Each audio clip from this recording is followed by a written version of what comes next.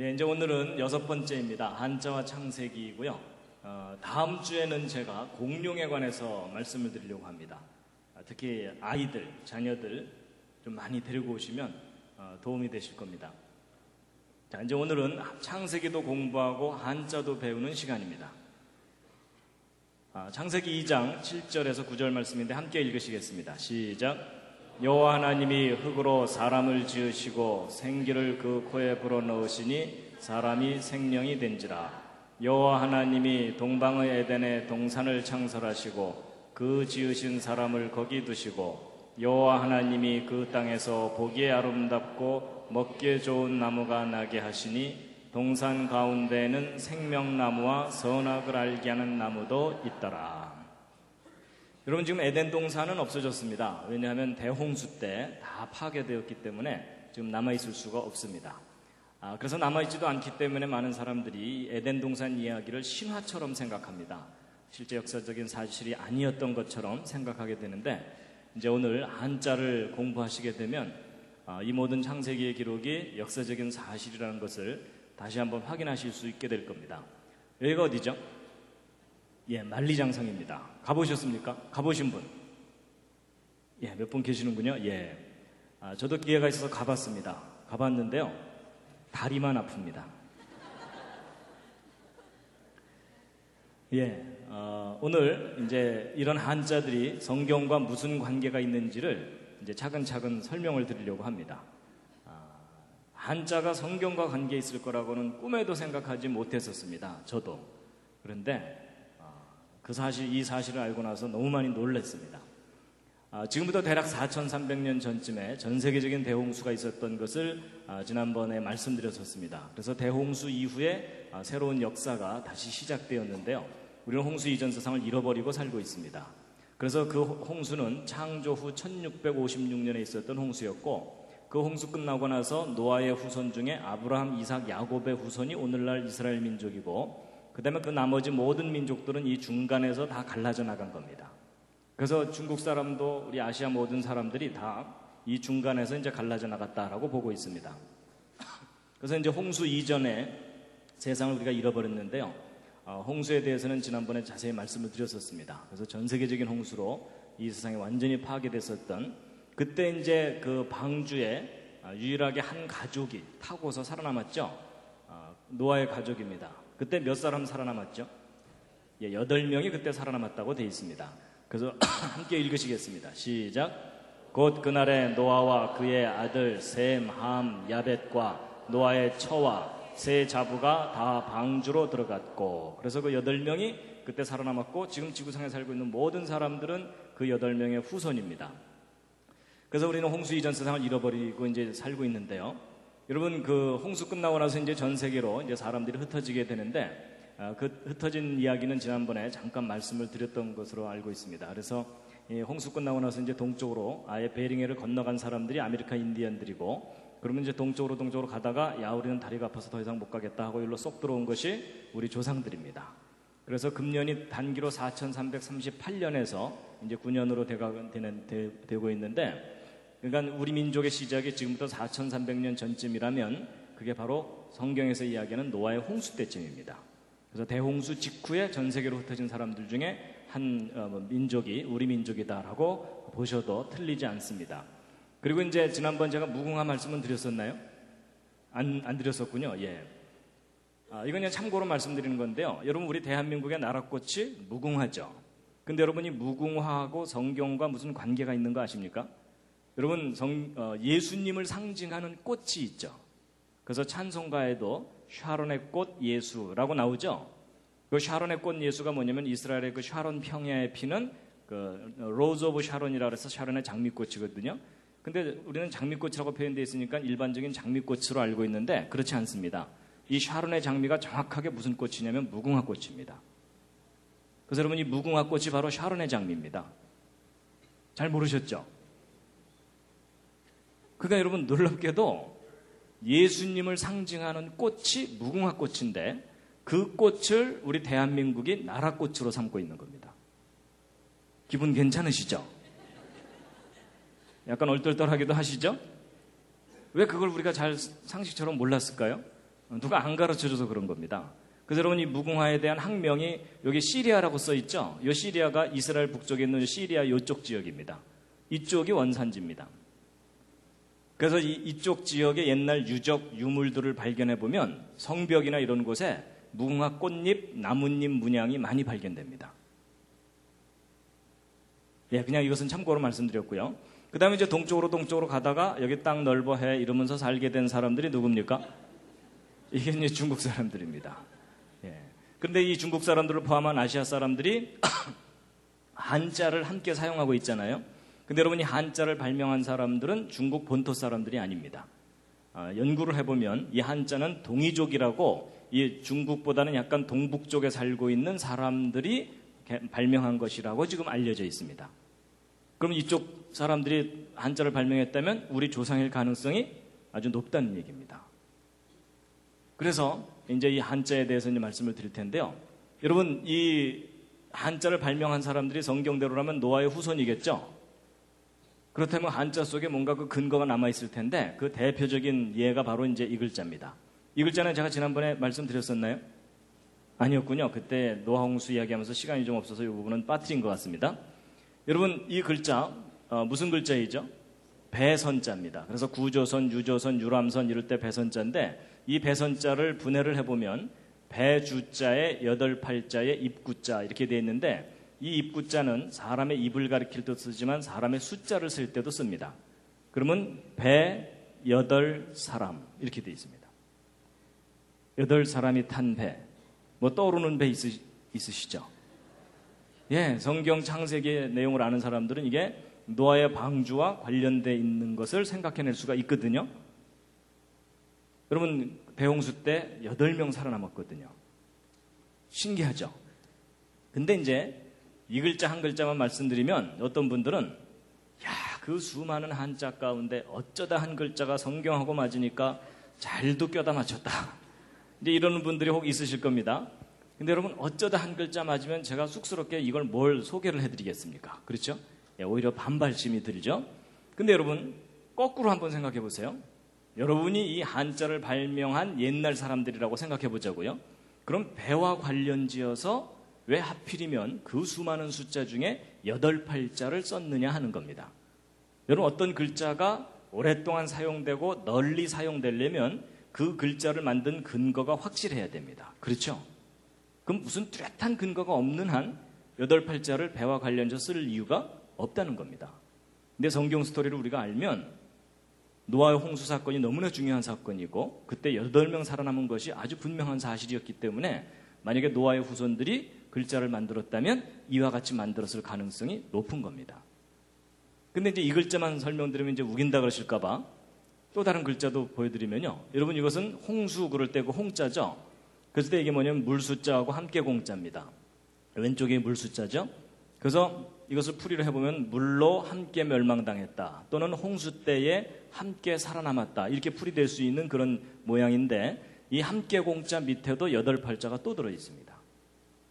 희한하게도 배와 관련지어서 물과 관련지어서 8팔이라는 숫자가 자주 발견됩니다.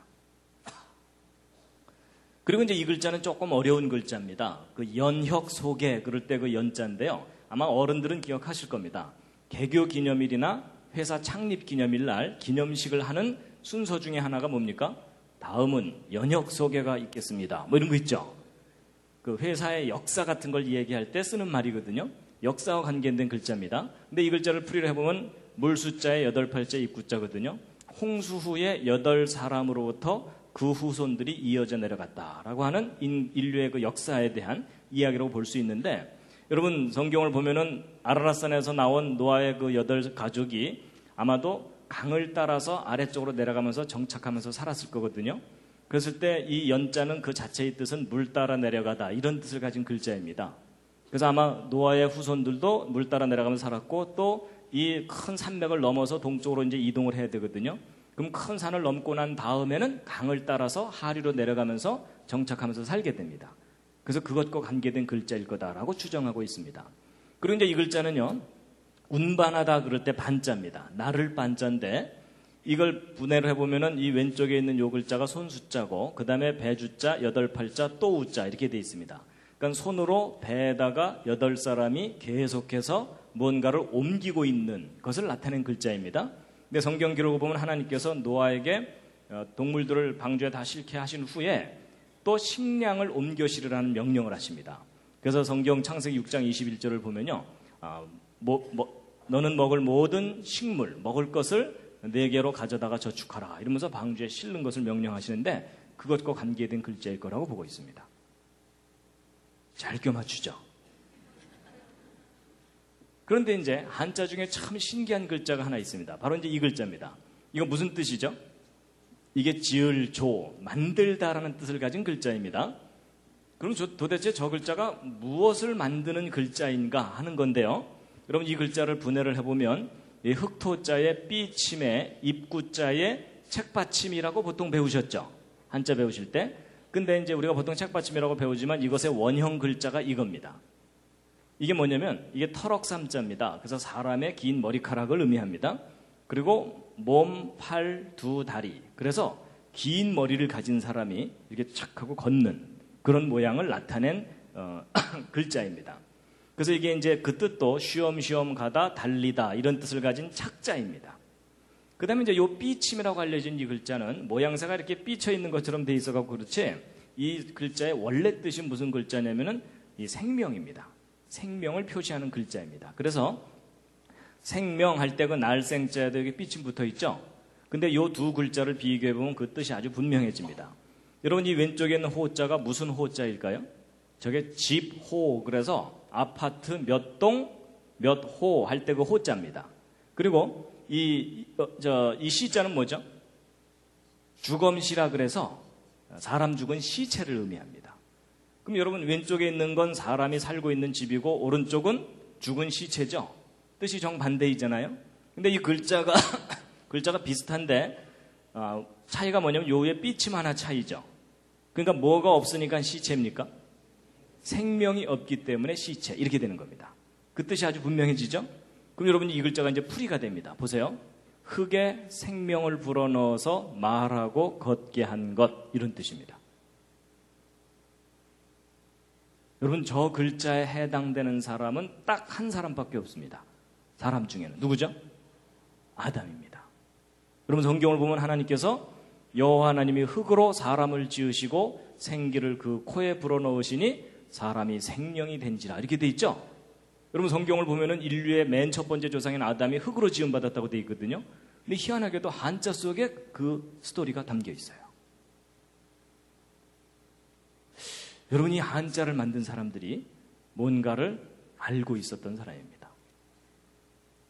여러분 인류 가운데 아담만 흙으로 지음 받았어요. 하와도 아담의 갈비뼈로 만들어졌고요. 여러분과 저는 어머니 태로부터 나와요. 그렇죠? 그러니까 이 글자에 해당되는 사람은 아담밖에 없어요. 참 신기하죠? 그러니까 여러분 흙으로 사람이 만들어졌다는 것은 이 성경을 알았던 사람들만 알았던 게 아니고요. 고대 동양 사람들도 그 사실을 알았었다는 얘기입니다. 근데 여러분, 아, 사람의 조상, 그러니까 이 아담이 흙으로 만들어졌다는 거 믿으시나요? 표정을 보아서는 지금 거의 안 믿으시는 표정입니다. 근데 여러분, 어, 아담이 흙으로 만들어졌다는 말이 과학적인 말입니까? 비과학적인 말입니까? 옆에 있는 분과 한번 상의해 보시죠. 자, 아담이 흙으로 만들어졌다는 건 과학적인 이야기다라고 생각하시는 분. 예, 여러분 계시고요. 아니다. 이건 좀 비과학적인 이야기다. 예, 그럼 나머지 분들은요. 들어보고 결정하시겠다. 이런 표정이시네요. 여러분, 저도, 저도 예전에는 아, 흙으로 사람이 만들어진다는 건 비과학적인 것이라고 생각했습니다. 그런데 아니에요. 이런 흙으로 사람이 만들어졌다는 것은 과학적인 이야기입니다. 무슨 말이냐? 이런 과학적이라는 것은 지난번에도 제가 언뜻 말씀드렸지만 원인과 결과가 분명한 것이 과학적인 겁니다. 그렇죠? 자, 그럼 이제 생각해 보세요. 여러분 죽으면 무엇으로 돌아가십니까? 흙으로 돌아가시죠. 여러분 중에 혹시 플라스틱으로 돌아가실 분 계십니까? 여러분 모든 사람은 죽으면 다 흙으로 돌아갑니다. 맞죠? 그래서 여러분 신토불이란 말이 무슨 말이냐면 우리 몸과 흙은 서로 다른 게 아니다. 그 얘기죠. 그래서 사람의 몸과 흙은 같은 성분입니다. 근데 사람이 죽으면 흙으로 가는 건 누구나 다 아는데 흙에서부터 사람이 만들어졌다는 건 잘 인정이 안 되시죠? 여러분 이해하실 수 있도록 설명을 해드리겠습니다. 보세요. 여러분 흙을 한사 퍼서 어린아이들을 주면 어린아이들은 하루 종일 흙장난하고, 놀, 흙장난하고 놀다가 기껏 만드는 게 두꺼봐 두꺼봐 이러면서 두꺼비 집 하나 만듭니다. 그렇죠? 근데 그 똑같은 흙을 한사 퍼가지고 여러분을 드리면 여러분은 나름대로 그릇 하나씩 만드실 수 있을 겁니다. 그렇죠? 그리고 여러분 중에 정말 솜씨가 좋으신 분들은 이런 도자기도 만드실 수 있겠죠? 근데 여러분, 그 똑같은 흙을 한사 퍼서 반도체를 만드는 과학자들을 갖다 주면 그 과학자들은 이 흙에서 모래를 뽑아내고 모래 속에서 실리콘을 뽑아내고 정제하고 가공해서 금보다 더 비싼 반도체 칩을 만들어냅니다. 자, 그럼 여러분 한번 생각해 보세요. 재료는 똑같은 흙이에요. 그렇죠? 그런데 왜 아이들은 두꺼비 집, 어른들은 그릇, 전문가는 그보다 더 훨씬 훌륭한 반도체 집을 만들어내는 거죠? 결과가 다르죠. 결과가 다른데 그 결과가 다른 원인이 뭐예요? 그 원인이 뭘까요? 예, 여러 가지 표현, 표현할 수 있지만 지혜와 능력의 차이예요. 맞죠? 여러분 똑같은 재료를 가지고 지혜와 능력이 클수록 더 훌륭한 작품이 나온다. 이거 상식이죠. 자, 그럼 이제 보세요. 이런 식으로 이제 가는데, 여러분 제가 지난번에 제일 첫 번째 그 주제를 말씀드릴 때에 이 반도체 칩하고 이 생, 생명체를 비교해 드린 적이 있었습니다. 뭐 이미 지나간 예 추억이 되셨겠지만 하여튼 그런 적이 있었습니다. 그때 제가 이 반도체 칩과 세포의 정보 저장 능력에 대해서 비교를 해드린 게 있는데 여러분 요 밑에 있는 집 640권 새로 개발된 것 이 속에 책 2만 권을 집어넣는다 그랬죠? 근데 이 오른쪽 세포에는 대략 백과사전 1000권 정도의 유전 정보가 들어있다 그랬죠? 근데 여러분 숫자상으로는 왼쪽에더 커 보이지만 여러분 이 세포를 반도체 칩 위에다가 올려놓으면 보여요? 안 보여요? 보이지도 않을 정도로 지극히 작은 곳에 1000권이 들어있는 거예요. 그럼 여러분 이 둘을 똑같은 크기로 비교하면 이 오른쪽 세포가 1억 배가 넘습니다. 여러분 어느 게 더 훌륭한 작품인지 구별이 되시죠? 이거 구별 못 하시는 분들은 잘 돌봐드려야 됩니다. 근데 여러분 이 반도체 칩이나 세포나 똑같이 재료가 뭐예요? 흙이에요. 그렇죠? 그렇다면 인간보다 훨씬 뛰어난 지혜와 능력이 있다면 흙으로 사람을 만드는 일이 가능하다 불가능하다요? 가능하다라는 겁니다. 그래서 여러분 보세요. 어린아이 두꺼비 집, 어른 그릇, 전문가 반도체 칩, 이보다 더 훨씬 뛰어난 지혜와 능력이 있다면 흙으로 생명을 만드는 일이 불가능한 일이 아니다라는 겁니다. 그렇죠. 중요한 요점은 지혜와 능력이 문제이지 흙으로 사람이 만들어지는 일은 불가능한 일이 아닙니다. 이해가 되시나요? 하여튼 저는 그렇게 우기고 살고 있습니다. 그래서 흙으로 사람이 만들어졌다는 것은 과학적인 이야기다라고 저는 생각합니다. 자, 여러분 지금부터 이제 소개해드린 이 한, 한자 이야기는 바로 이 책입니다. 창세기의 발견이라는 꽤 오래전에 나온 책인데 사람들에게 널리 알려지지를 않았습니다, 그동안. 그래서 C.H. 강이라고 하는 중국계 목사님과 에델 렐슨이라는 미국인이 그동안 발표된 논문 여러 가지 자료들을 종합해서 어, 한자와 성경과의 관계를 밝혀낸 책입니다. 근데 이 책을 그대로 번역한 책이 이제 창세기와 중국 문자라는 책입니다. 근데 아쉽게도 이 책은 절판이 됐습니다. 예. 그리고 이제 그 밖에 다른 책들이 이제 나와 있습니다. 자, 여러분 이 빨간색 이게 뭘까요? 예, 중국 지도입니다. 그 옆에다 이제 한국을 딱 붙여놓으면 분명해지죠? 그래서 코리아, 차이나. 그래서 크기가 하도 차이가 나서 차이납니다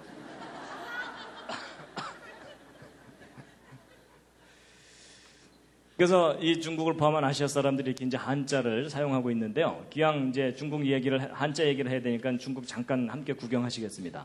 북경 천안문입니다. 그 천안문 사태 때문에 전 세계 에 널리 알려지게 됐고 천안문의 야경이고요. 이 천안문 안쪽에는 고궁이라고 하는 우리한테는 자금성이라고 알려진 큰 이제 성이 있습니다. 아, 여기 뭐 아주 어마어마한 건물들이 이렇게 있고 여기서까지 여기 들어가려면은 외국 사신들이 여기서까지 여기 들어가려면 기가 팍 죽을 정도로 크게 만들어놨습니다. 그리고 이제 그 청조 때의 서태후의 여름별장이라고 하는 이화원입니다. 예, 그래서 뭐 어마어마한 규모의 별장을 이렇게 만들어 놓은 곳이 또 있고요. 그 다음에 이제 천단공원이라 그래서 옛날 명나라, 청나라 시절에 황제가 상제에게 제사 지내던 장소입니다. 그런지 그 밖에 이제 중국식 건물인데 우리 건물하고 좀씩 다르죠? 그런데 중국이 너무나 짧은 시간 내에 급변했습니다. 그래서 뭐 어, 여기도 중국입니다. 여기가 이제 그 상해입니다. 상해 푸동이라고 하는 그 신시가지인데 이 상해 살고 있는 사람들은 자기들을 중국 사람들이라고 부르면 싫어한답니다. 상해 사람이라고 불러달라 뭐 이렇게 얘기한답니다. 어, 북한의 김정일이 이 상해에 방문했다가 큰 충격을 받았죠. 예, 그래서 우리도 뭐 좀 하자고 뭐 이러면서 이제 하다가 된 것 중에 하나가 지금 평양과학기술대학을 지어주는 일이 지금 진행되고 있습니다. 그래서 이제 신시 가지고 그 반대편 이쪽에는 이제 구시 가지인데 옛날 독일 사람들이 개발해서 유럽식 건물들이 이렇게 있고요. 하여튼 중국은 지금 너무나 빠르게 발전하고 있습니다. 그리고 이것은 저 티벳고원의 포탈라궁이라고 하는 라마 불교의 성지라고 하는 곳입니다. 거대한 건물이 이렇게 있는데요. 저런 거 보시면서 와 크다 이렇게만 생각하지 마시고요. 주여 신학교로 바뀌게 하여 주시옵소서 이러면서 기도하셔야 됩니다. 예, 중국의 거리의 모습이고요. 요즘은 이런 모습들이 아주 빨리 사라져가고 있습니다. 여러분 이런 거 보시면 기분 괜찮으시죠? 예, 뭐 LG, 현대 뭐 하여튼 주렁주렁 걸려 있습니다. 하여튼 고대의 유물과 현대의 그 발전이 함께 있는 큰 나라가 중국인데요. 지금부터 이제 차근차근 이제 말씀을 드리면 여러분 제가 한자를 중국 문자라고 표현하지 않고 동방 문자라고 표현한 것이 중국 본토 사람들이 개발한 것이 아니기 때문에 제가 이제 저렇게 표현을 했습니다. 그런데 이 한자가 도대체 언제부터 만들어지기 시작했는지에 대해서 연구를 해보면 미시 2500년 경쯤부터일 거라고 추정되고 있습니다. 근데 저것은 좀 대략 추정치이기 때문에 지금 현재로부터 대략 한 4500년 전쯤이거든요. 근데 지금부터 대략 한 4,500년 전쯤이 바로 무슨 사건이냐면 성경의 노아의 홍수 사건입니다. 그러니까 대홍수 직후에 동쪽으로 간 사람들이 한자를 발명했을 가능성이 높다라고 볼 수 있다는 겁니다. 그 다음에 이제 한자를 분류할 때 이렇게 단순 무식하게 분류하지는 않습니다. 그렇지만 제가 이제 설명을 쉽게 하기 위해서 간단하게 분류를 해보면 어떤 모양을 그대로 본뜬 글자들이 있는가 하면 그것을 조합한 글자들이 있고 그 밖에 파생되는 많은 글자들이 있죠. 근데 여러분 이세 가지 형태의 글자 중에 어느 글자가 가장 먼저 개발됐겠습니까? 당연히 맨 위에 부분의 기본 글자들이 먼저 개발됐겠죠? 이게 무슨 얘기냐면 이 한자를 발명해낸 그 처음 사람들의 생각을 읽어내려면 기본적인 글자들을 중심으로 분석해보면 된다. 그 뜻입니다. 동의가 되시죠? 예. 그리고 이제 중국 역사도 좀 제가 정리를 해드리면요. 여러분 예수님이 오셨을 때를 기준으로 해서 지금 21세기는 중국이란 나라가 있고 그 이제는 중화민국, 청명, 원나라, 남성북성 556국 좀 이따 시험 보겠습니다. 여러분 중국에서 태어나서 역사 배우지 않은 걸 참 감사하시기 바랍니다. 거기에 비하면 우리나라 역사 참 심플합니다. 그렇죠? 예. 근데 여러분 보통 우리가 중국의 역사가 아주 오래된 것처럼 배우시죠. 그래서 보통 막 BC 6천년, 7천년, 막 거의 만 년의 역사를 가진 것처럼 배우시죠. 근데 여러분 그런 거에 속지 마시기 바랍니다. 여러분 역사라는 게 있고 선사라는 게 있습니다. 히스토리와 프리히스토리가 있는데 여러분 역사와 선사를 구별하는 기준이 뭐죠? 그게 기록을 통해서 객관적으로 검증할 수 있는 것까지만 역사라고 합니다. 그렇죠? 근데 여러분, 그 긴 중국의 역사도 엄밀한 의미에서 기록을 통해서 확인할 수 있는 역사는 결코 그렇게 길지 않습니다. 미시 15세기 정도가 최대입니다. 그러니까 은나라의 흔적이 좀 남아있고 주나라 이후가 제대로 된 역사이고 그 이전은 선사에 해당됩니다. 근데 여러분 미시 15세기가 언제냐면 성경의 기록으로 볼 때 모세가 출애굽할 때쯤입니다. 그러니까 여러분 그렇게 긴 역사를 가졌다는 중국조차도 그 역사가 BC 15세기를 넘어가지 않, 고 그리고 기록을 통해서 최대의 역사가 하나라 뭐 이런 사망오제 이런 때거든요. 그렇기 때문에 이 BC 25세기를 크게 넘어가지 않습니다. 결국 노아홍수 그 시, 간을 뛰어넘는 역사라는 것이 없다는 얘기입니다. 그리고 이제 우리나라 역사도 이제 비교를 해놓은 건데 소위 그 고구려 백제 신라가 어, 예수님 오셨을 때쯤 시작됐고 그 이전이 이제 고조선인데 사실 이 고조선이란 나라도 좀 막연한 어, 기록만 있습니다. 그렇죠? 예. 그래서 이제 그 성경 역사하고 비교해 보면 대홍수 이후에 중국의 역사도 우리 고조선의 역사도 시작됐다라고 보시면 된다는 겁니다. 그리고 우리는 그 이전 세상은 잃어버린 겁니다. 그래서 이런 관점으로 본다면요. 어, 인류의 역사가 그러니까 기록을 통해서 확인할 수 있는 역사가 그렇게 길지 않다는 이야기가 거꾸로 대홍수가 있었다는 것에 대한 큰 증거가 됩니다. 자, 그다음에 이제 여러분 그 동양의 대표적인 종교와 사상이 뭐죠? 예, 대표적인 종교는 불교고 대표적인 사상은 유교죠. 그래서 여러분과 저도 비록 기독교인이 됐기는 했지만 저 불교와 유교의 뿌리가 뿌리 깊게 남아 있어요. 맞죠? 예. 그래서 이제 우리가 이 영향을 참 많이 받았는데 근데 이제 질문을 좀 바꿔서요. 이 동양의 뿌리가 되는 종교가 뭐냐라고 질문을 하면 대답이 달라집니다. 일단 불교나 유교는 뿌리가 되는 종교일 수가 없습니다. 왜냐하면 불교나 유교는 석가모니나 공자 등에 의해서 시작됐는데 이 사람들이 미시 5세기, 6세기 요때쯤 사람들이거든요. 근데 동양 사람들은 이미 그 이전부터 살고 있었죠. 그렇다면 뿌리가 되는 종교를 알아내려면 그 이전 사람들이 갖고 있던 종교를 밝혀내야 됩니다. 그렇죠. 그런데 그 이전 사람들이 어떤 종교 형태가 있었는지를 알아내려면 무엇 연구해 보면 되냐면 바로 한자입니다. 여러분 한자가 대략 이때쯤 만들어지기 시작했다고 추정하고 있거든요. 그렇다면 이 사람들이 어떤 종교의 형태를 가지고 있었다면, 그리고 그들이 어떤 신을 숭배했다면, 그것이 그들의 글자 속에 흔적으로 남아있을 수 있겠죠? 그래서 이제 그걸 찾아내면 되는데, 별로 어렵지 않습니다. 그것을 알아내려면, 종교, 제사, 기도, 이런 것과 관계된 한자들을 분석해 보면 됩니다. 자, 다 같이 한번 써보시겠습니다. 한자로. 대표는 뭔가 상의해 가면서 한번 써보시죠. 예, 지금 거의 망연자실한 표정이십니다. 예, 종교, 제사, 기도 이런 한자를 한번 써보시면요. 제가 다 써왔습니다. 예. 안 쓰실 거 알고 제가 다 써왔습니다. 종교, 제사, 기도 이렇게 쓰거든요. 그 다음에 그것과 관계된 한자들을 이것저것 모아놓은 겁니다. 여러분, 종교에는 신이 있고 그 신을 숭배합니다. 그리고 이제 참선, 여러분 참선은 기독교적인 용어로 바꾸면 큐티, 묵상 뭐 이런 겁니다. 그 다음에 이제 제사에는 사직이 있죠. 그래서 여러분 서울에도 부산에도 사직공원이 있죠. 그 다음에 이제 예절. 여러분 거의 모든 예절이 제사로부터 나왔다고 해도 과언이 아닐 정도로 제사와 예절은 아주 깊은 관계가 있습니다. 그 다음에 이제 기도할 때 우리가 복을 받기를 빌고 화가 내리지 않기를 빌고 도움을 빌고 이렇게 되죠. 자 그런데 여러분 퀴즈입니다. 이런 종교 제사 기도와 관계된 한자들을 이것저것 모아놓고 나면 이상하게 눈에 자주 뜨이는 부수 글자가 하나 있습니다. 단어마다 꼬박꼬박 하나 두 개씩 들어있죠. 무슨 글자입니까? 그거요. 그렇죠? 그거. 예. 그런데 여기서 보일시 보일시막 이러시는데 제가 어디 갔더니 아무 소리도 못 하시더라고요. 그거 그거 이러시더라고요. 근데 바로 이 글자입니다. 이 글자. 이 글자가 무슨 글자냐면 바로 보이다라는 뜻의 시자고 또는 계시하다, 나타내주다 이런 것 이런 거거든요. 근데 여러분 계시하는 존재가 누구죠? 신이에요. 그렇죠?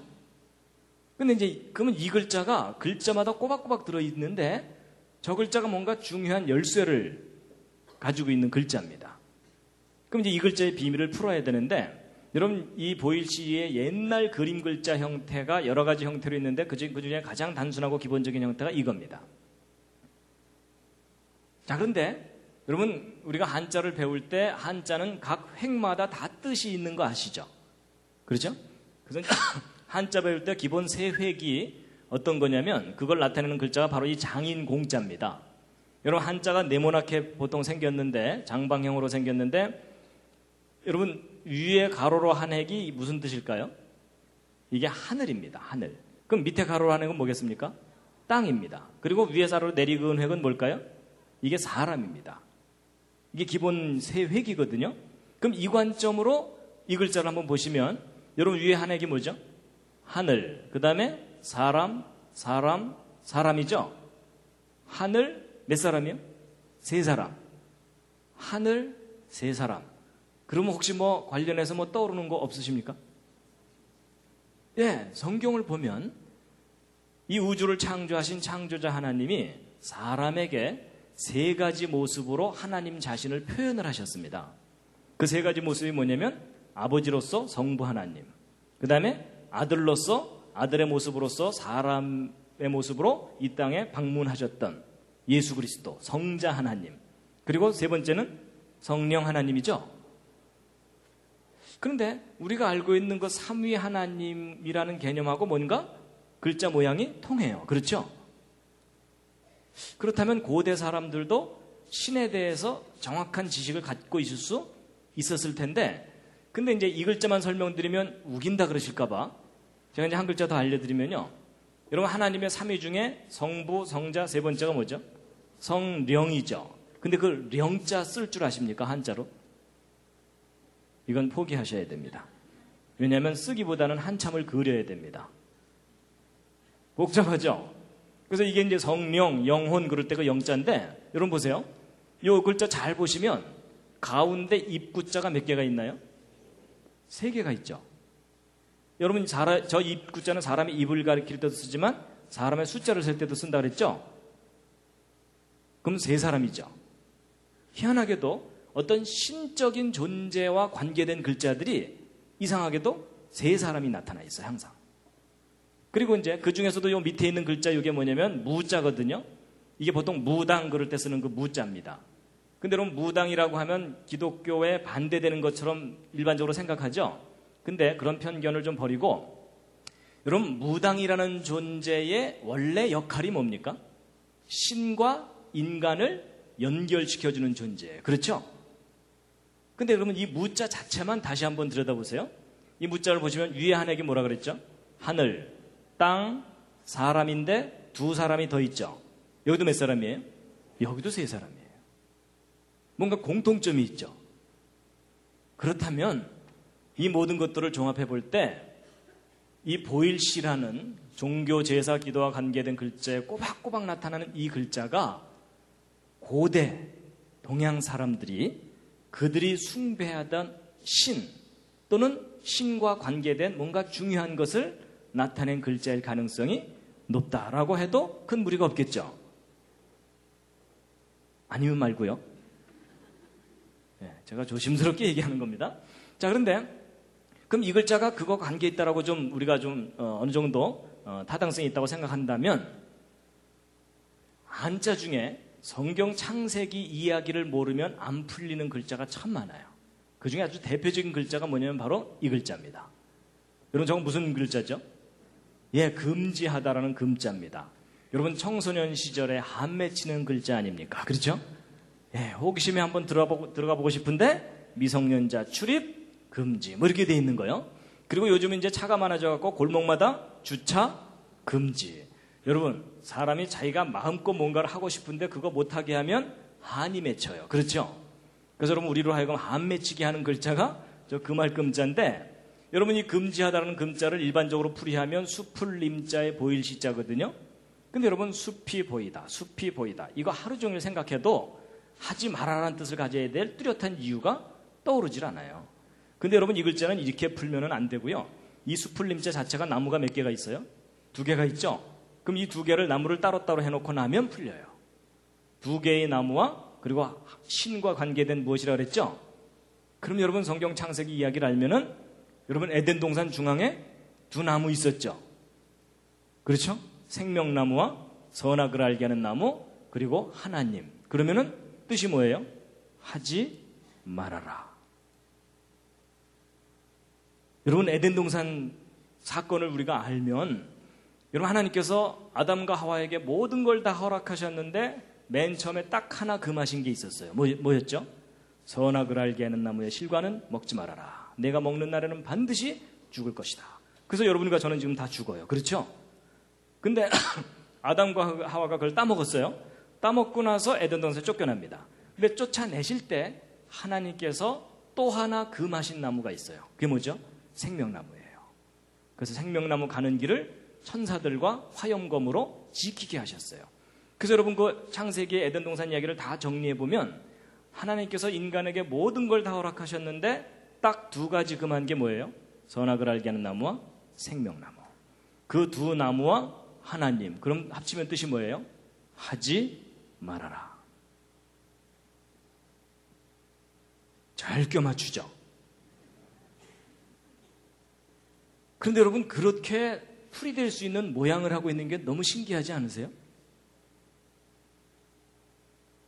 아니 생각해 보세요. 나야 나야 에덴 동산 이야기를 아니까 나무 두 개 이렇게 그려놓고 하늘에 소신 세 분 이러면서 상대방을 딱 보여줬는데 상대방이 이게 뭔 소리요? 이러면은 그 글자 사용할 수 있어요 없어요? 할 수 없어요.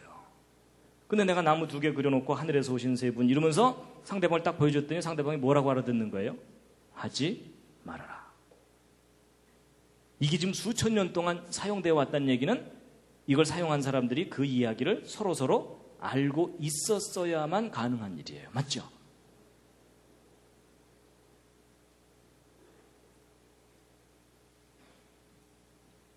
신기하죠?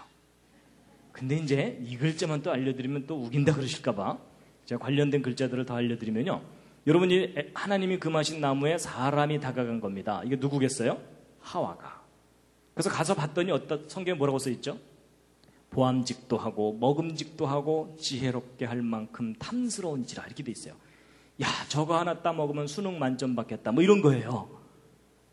그래서 이게 그 뜻이 뭐냐면 우러러보다 고개를 쳐들다라는 금자예요.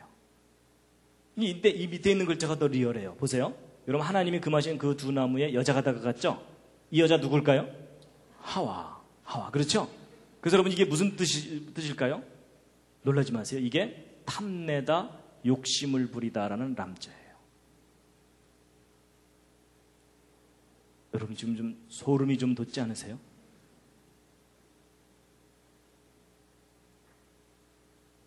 여러분 에덴 동산 얘기가 신화인 줄 알았는데 고대 동양 사람들이 알고 있던 얘기였어요. 근데 이제 탐내고 욕심 부린 걸로 끝났으면 다행인데 드디어 행동 개시. 하나님 하나님이 금하신 그 두 나무에 손을 갖다 댄 거예요. 이게 뭐냐면 만지다 가까이 하다라는 마자예요. 이건 가릴 엄자인데 귀신이 자기 정체를 숨기고 뭐 이런 의미로 볼 수 있어요. 그리고 여러분 에덴 동산에 등장하는 우리의 왼수 있죠. 뭐예요? 뱀, 비암. 그렇죠? 예. 여러분 그 뱀, 여러분 그 뱀이 하와를 유혹하잖아요. 근데 계시록에 보면 그 뱀의 정체가 나옵니다. 함께 두 줄만 읽겠습니다. 시작. 옛 뱀, 곧 마귀라고도 하고 사단이라고도 하는 온 천하를 깨는 자라. 이렇게 돼 있죠? 여러분, 옛 뱀이 뭐냐면 그 에덴 동산의 그 뱀입니다. 그 뱀이 정체가 곧 뭐라고요? 마귀. 마귀. 여러분, 마귀 좋아하세요? 싫어하시죠? 근데 여러분, 마귀자 쓸 줄 아세요? 한자로? 여러분, 마귀자 이렇게 써요. 마귀. 그래서 여러분, 이게 악마, 사탄인데 잘 보세요.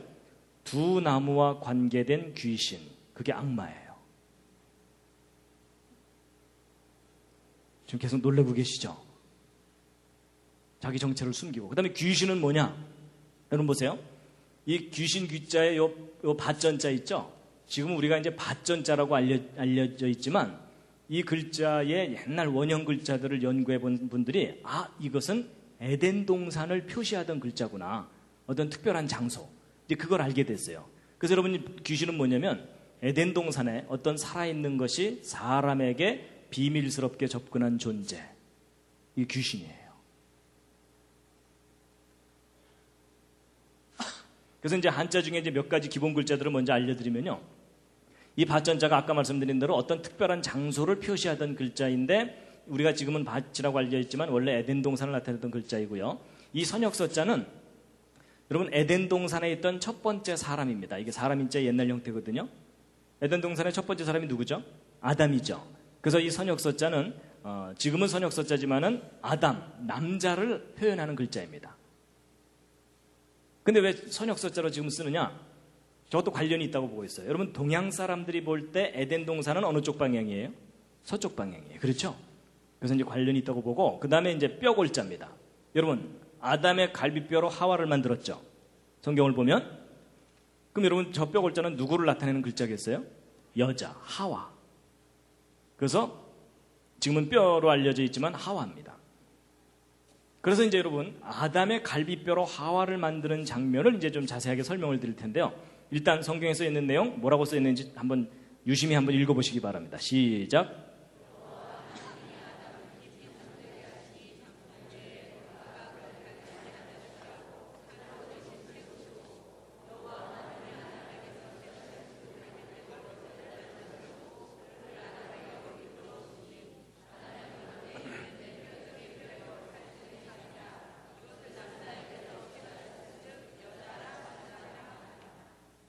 여러분 여자는 하와는 아담의 갈비뼈로 만들어졌다고 성경에 되어 있습니다. 자, 퀴즈를 드리겠습니다. 여러분 오늘날 남자들이 갈비뼈 양쪽 개수가 똑같을까요? 다를까요? 옆에 있는 분과 한번 상의해 보시기 바랍니다. 자, 그리고 남자분들은 한번 튕겨 보시기 바랍니다. 띠리리리리링. 아니, 옆에 있는 분하고 싸우셨나요? 왜 서로 상의를 안 하시나요? 자, 확인해 보겠습니다. 1번, 어, 똑같을 거다. 2번, 다를 거다. 이제 하나가 없을 거다. 3번, 잘 모르겠다. 이 중에 택하시면 됩니다. 자, 뭐 서로 모르니까 우기셔도 됩니다. 자, 1번. 오늘날 남자들 갈비뼈 양쪽 개수가 똑같을 거다. 5. 그 중에 내가 확인해 봤다. 예, 대부분 이제 확인 안 하시고 그냥 우기시는 거죠. 예, 내려주시고요. 자, 2번. 아니다. 오늘날 남자들 갈비 하나가 없을 거다. 어깨 많이 손 드셨죠? 예, 손, 손. 지금 손 드신 분들을 잘 돌봐드리시기 바랍니다.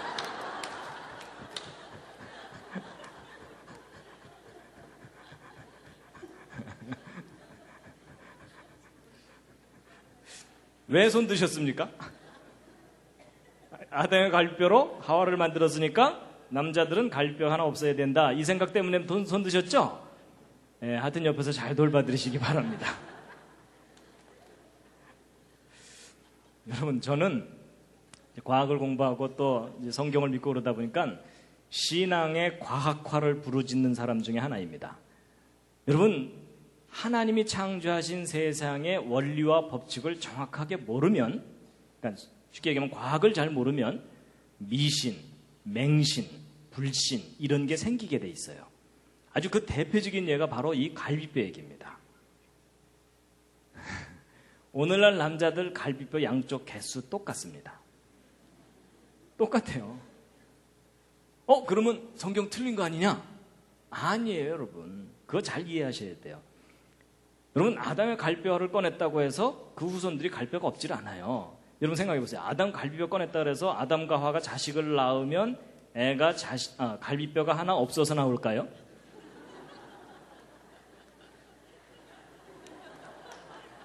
아닌 거 짐작하시겠죠? 여러분, 만약에 그런 식으로 유전이 되는 거라면 문제가 심각해져요. 여러분, 조상님 중에 논에 나가서 낯질하다 손가락 잘린 분, 자식을 낳았더니 애가 손가락이 하나 없어서 나와, 전쟁 나가서 다리 잘린 분, 집에 돌아와서 애를 낳았더니 애가 다리가 없어서 나와, 여러분 이런 식으로 유전이 되는 거라면 지금 현재 여러분과 저는 몸뚱이만 앉아 있어야 됩니다. 맞죠? 여러분 유전은 지난번 말씀드린 것처럼 유전 정보 DNA 그걸로 유전이 되는 거지 갈비뼈를 꺼냈다고 유전자 정보가 변해요? 아닙니다, 여러분.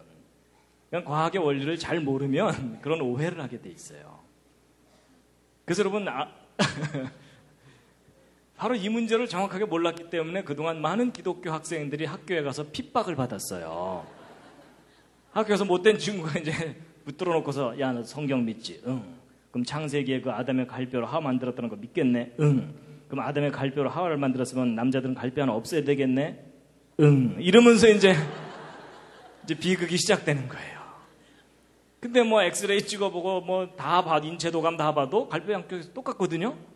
거봐, 임마, 성경 틀렸잖아. 이러면은 이, 학, 이 학생이 아무 말도 못하는 거예요. 그렇죠? 그냥 얼굴이 빨개져하고 그날 저녁 교회 뒷자리 어두컴컴한 데 앉아서 울면서 기도하는 거예요. 주여, 이게 어찌 된 일이 없나이까. 이 그래서 여러분, 아당 갈비뼈 꺼냈다고 남자들 갈비 하나 없어야 된다. 이건 잘못된 생각입니다. 예, 그거 아니에요. 자, 그런데 여러분, 또, 여러분, 아담의 갈비뼈를 꺼내서 여자를 만들었다. 하와를 만들었다. 이거 과학적인 이야기입니까? 비과학적인 이야기입니까? 이젠 분위기상? 과학적인 얘기라고 대답은 해야 될 것 같은데, 뭐 좀 떠오르는 아이디어가 없으시죠? 여러분 예전에는요, 야야 그 아담 갈뼈로 하와를 만들었다는 그런 황당한 창세기를 내가 어떻게 믿냐 이러면서 사람들이 못 믿었거든요. 근데 요즘은 그런 얘기하면 바보입니다. 왜냐하면 여러분 요즘 인간 복제 많이 들어보셨죠? 그게 뭐 하는 거예요? 여러분 몸에 있는 세포 하나 떼어내 갖고 여러분과 똑같은 사람을 또 하나 만든다는 거예요. 맞죠? 그럼 여러분 그게 무슨 얘기냐면 우리 몸의 일부를 떼어내서 또 하나의 사람을 만드는 일이 가능하다, 불가능하다? 가능하다고 지금 과학자들이 외치고 있잖아요. 그렇죠? 과학적으로 가능하다고.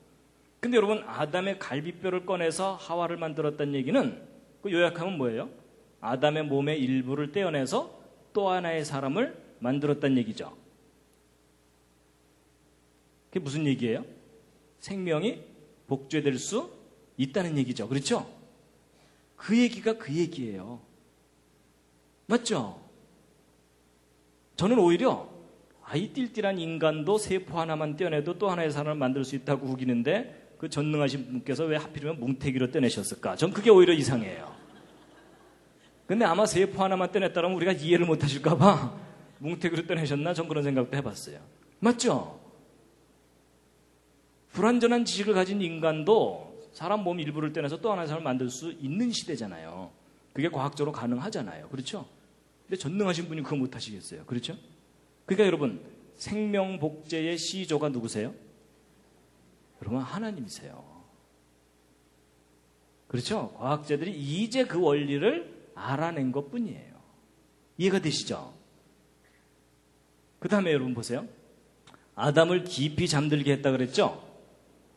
전신 마취의 시조가 누구십니까?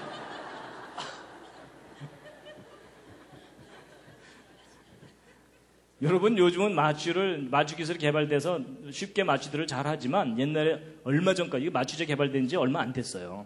그 이전에는 수술할 때 어떻게 했겠어요? 막 다리 썩어 들어가는 사람들 그냥 묶어놓고 톱으로 자르는 수밖에 없어요. 맞죠?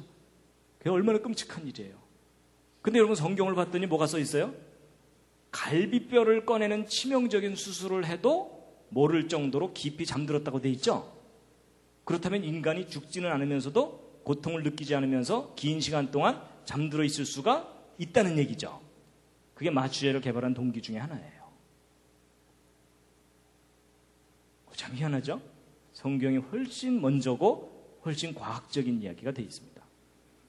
그 다음에 이제 여러분 아담의 갈비뼈를 꺼내서 하와를 만들었다고 돼 있죠? 근데 갈비뼈 꺼낸 자리를 성경을 보면 어떻게 돼 있다고요? 살로 대신 채웠다 이렇게 돼 있죠. 근데 여러분 이 과정을 그대로 나타낸 글자가 뼈골자예요. 자, 뼈골자 한번 주의깊게 다시 한번 보세요. 여러분 이 뼈골자를 보시면 요 밑에는 요 달월자 있죠. 근데 이제 한자 배우시는 분들은 알지만 달월자 중에도 하늘에 있는 달을 나타내는 달월자도 있지만 살육자를 줄인 달월자가 있어요. 그걸 육다롤이라고 해요. 그래서 요거는 6달롤에 해당되는 다롤자입니다. 그 다음에 요것이 덮는다라는 뜻을 가진 덮을 멱자거든요. 그럼 여러분 요 뼈골자 잘 보세요. 아담 가슴 속에 무언가를 꺼냈어요. 꺼내고 살로 대신 채우고 덮었어요. 그래서 거기서 꺼낸 게 뭐예요? 뼈죠. 그 뼈로 누굴 만들었어요? 하와를 만든 거예요. 잘 껴맞추죠. 근데 여러분, 그렇게 설명될 수 있는 모양을 하고 있는 것이 참 신기하죠. 여러분, 지금은 요게 이렇게 꺾어진 거로 이렇게 되어 있지만 옛날 그림 글자 중에는 요게 드립자로도 되어 있어요. 아담 가슴 안쪽에 손을 집어넣어서 꺼낸 그런 거예요. 그거 참 신기하죠? 자, 이제 제일 중요한 퀴즈를 또 하나 이제 드릴 겁니다. 재미있는 퀴즈입니다. 이번 퀴즈는 뭐냐면요. 여러분 이제 우리는 성경 보통 읽으면서 아 하나님께서 뭐 꺼내서 만드셨는가 보다 이렇게 해서 그냥 넘어가 버리잖아요. 근데 여러분 좀 더 구체적으로 생각해 보세요. 여러분 하나님께서 아담의 갈비뼈를 꺼내셨잖아요. 근데 꺼낼 때 어떤 방법으로 꺼내셨을까? 그런 거 생각해 보신 적 없으시죠? 그렇죠? 근데 오늘 한번 생각해 보세요. 자, 제가 보기를 드립니다. 자, 1번. 하나님은 워낙 전능하시니까 그냥 말씀만 하시는 거예요. 아담 딱 잠들게 해놓으신 다음에 갈비뼈 나와라. 그랬더니 갈비뼈 하나가 동동동 떠서 나오더라. 그래서 1번 동동동. 자, 1번 동동동입니다. 자, 2번은 뭐냐? 뭐 전능하셔서 말씀으로만 하실 수도 있지만 그래도 손수 막 흙으로 사람을 만드시고 이런 걸로 보아서 손수 뭔가를 하셨을 것 같아요. 그래서 아담을 딱 잠들게 하신 후에 가슴 속으로 손을 쑥 집어넣어서 갈뼈를 툭 꺼내는 거예요. 근데 이제 여러분 그 SF 영화 같은 거 보면은 사람 몸속에 손을 쑥 집어넣다 꺼냈는데도 감쪽 같은 거 있죠. 그죠? 자, 그래서 2번 SF. 그 이제 3번은 뭐냐? 여러분 아무래도 갈비뼈 꺼내려면 가슴을 절개해서 열어야 되죠. 그리고 갈비뼈 꺼내고 살로 대신 채우고 덮고 덮기만 하면 되는 게 아니라 살이 벌어지니까 꼬매야 돼요. 그렇죠? 그래서 3번 정식 외과 수술. 자, 이 셋 중에 어느 것인지 옆에 있는 분과 한번 또 상의해 보시기 바랍니다. 자, 1번 동동동, 2번 SF, 3번 정식 외과 수술.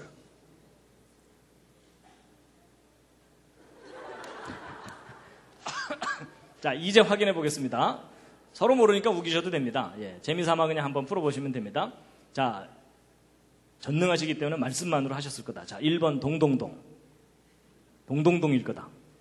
자, 지금 손 드신 분들은 만화를 많이 보신 분들입니다. 내려주시고요.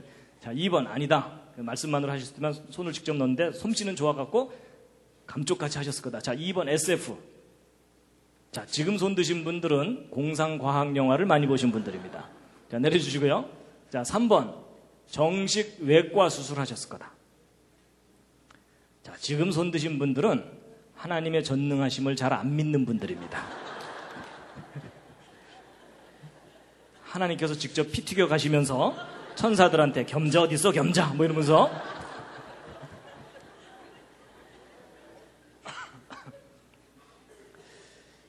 근데 여러분 몇 번일 것 같습니까? 저는 나름대로 근거가 있습니다. 아, 제 생각에는 저도 이제 올라가서 확인해 봐야 돼요. 예, 아담 만나서 확인해 봐야 되지만 제 생각에는 3번이에요. 정식 외과 수술. 왜냐하면 한자에도 좀 그 흔적이 있는데요. 살로 대신 채우고 덮었다고 돼 있죠. 그럼 덮었다는 얘기는 열었으니까 덮었겠죠. 그렇죠. 그래서 여기에 이제 흔적이 있는데 그보다 더 중요한 단서가 더 확실한 단서가 뭐냐면요. 아담의 고백입니다. 아담의 고백. 여러분 아담은 완벽하게 기절했다 일어났죠. 근데 앞에 여자가 있는 거예요. 하나님이 이제 만들어서 데리고 왔으니까. 근데 아담이 뭐라고 고백해요? 이는 내 뼈 중에 뼈요, 살 중에 살이라고 얘기를 하죠. 쉽게 얘기하면 뭐예요? 이건 내 뼈다구다. 이러면서 지금 자기 거라고 주장하는 거잖아요. 그렇죠? 근데 그게 좀 이상해요. 왜냐하면 저 하나님이 가르쳐 주셨다는 말도 없거든요. 아담이 스스로 한 말이에요. 이상한 게 뭐냐면 여러분 아담은 자기가 흙으로 지음 받았다는 거 알겠죠? 일단. 그죠? 하나님과 대화가 되는 사람이니까. 그럼 이제 아담이 완벽하게 기절했다 딱 일어났어요. 근데 앞에 여자가 있어. 그럼 아담이 뭐라고 생각해야 되냐면 아 내가 기절한 사이에 하나님께서 이 여자도 흙으로 만들어서 내 앞에 데리고 왔는가 보다라고 생각하는 것이 정상적인 판단이에요. 맞죠? 근데 아담이 지금 그렇게 말을 하는 게 아니라 지금 뭐라고 우기는 거예요? 이 여자는 내 뼈다구다 이러면서 소유권을 주장하고 있는 중이에요. 맞죠? 그럼 여러분 아담이 이 자기 거라고 우기려면 뭔가 근거가 있어야 되잖아요. 그래서 제가 생각해 봤더니 아마도 상황이 이런 것 같아요. 아담이 기절했다 딱 일어났어요. 앞에 여자가 있어. 감탄할 틈도 없이 옆구리가 욱신욱신 쑤시는 거예요. 여러분 그 대수술을 했는데 여기가 뭐 멀쩡하겠습니까? 그래갖고 아담이 이상하다 싶어서 밑으로 딱 내려다 봤더니 뭐 꺼낸 자국이 있어. 그래서 이제 확인하느라고 확인, 확인하느라고 위에서 띠리링 튕겨봤더니 하나가 비어. 그럼 아담의 합리적인 결론은 뭐겠어요? 이 여자? 예, 이거 꺼내서 만들었으니까 누구 거예요? 여자 내 거다. 제가 하도 할 일이 없어서 별 생각 다 해봤습니다. 근데 여러분 제가 이렇게, 이렇게 우기는 것도 또 근거가 있습니다. 여러분이 아담 갈비뼈 꺼낸 흉터 있었겠어요? 없었겠어요? 하나님이 워낙 솜씨가 좋으시니까는 없애실 수도 있죠. 그런데 남겨두셨을 가능성이 높아요. 왜냐하면 그 얘가 여러분 엊그제가 어, 이제 부활주일이었죠? 여러분 예수님 부활하셨을 때 제자들에게 무엇 보여주셨어요? 손에 못자국과 옆구리에 창자국 보여주셨죠? 여러분 예수님이 누구시냐면 창조자 하나님이세요. 창조자 하나님이 이 땅에 오셔서 부활을 하셨는데 이 손에 못자국, 창자국 이거 지우실 수 있겠어요? 없겠어요? 지우실 수 있죠. 근데 안 지우신 걸까요? 못 지우신 걸까요? 예, 분위기상 안 지웠다고 대답하셔야 되겠죠? 혹시 못 지우셨을까요? 잘안 없어지네. 뭐 이러면서. 아니. 그러면 안 지우셨어요. 그건 예수님 자신을 위해서가 아니에요. 누구를 위해서? 제자들에게 증거로 확인시켜 주려고. 맞죠? 그래서 예수님도 그 흉터 안없으신 걸로 볼 때 하나님께서 아담 갈비뼈 꺼내신 후에도 그 흉터 그냥 평생도록 지니고 살도록 하셨을 가능성이 높아요. 그럼 아담은 이제 부부싸움 할 때마다 항상 여기를 보면서 아, 여기서 나왔지. 뭐 이러면서 이해가 되시죠? 그래서 여러분 천국에 가서 아담을 찾는 법 뭐예요? 예, 예, 그 흉터 있는 분 찾으시면 돼요. 근데 예수님도 흉터가 있으시거든요. 그러니까 예수님과 아담을 구별하는 방법이 뭔지 아세요? 아, 손에 못 자국도 구별하면 되지만 또 하나가 배꼽이에요, 배꼽. 아담은 배꼽이 있겠어요, 없겠어요? 네, 지난번에 얘기한 대로. 예수님 배꼽 있으세요, 없으세요? 있으시죠. 그렇죠. 마리아의 태로부터 나오셨으니까. 같은 작품과 창세기로 별 생각 다 해봤습니다. 여러분 창세기 이렇게 공부하면 너무너무 재밌습니다. 자, 그래서 여러분 보세요. 필요하다는 요자죠? 필요할 요자인데, 여러분 사람이 살다 보면 필요한 게 정말 많잖아요. 뭐 아파트도 필요하고 다 필요하잖아요.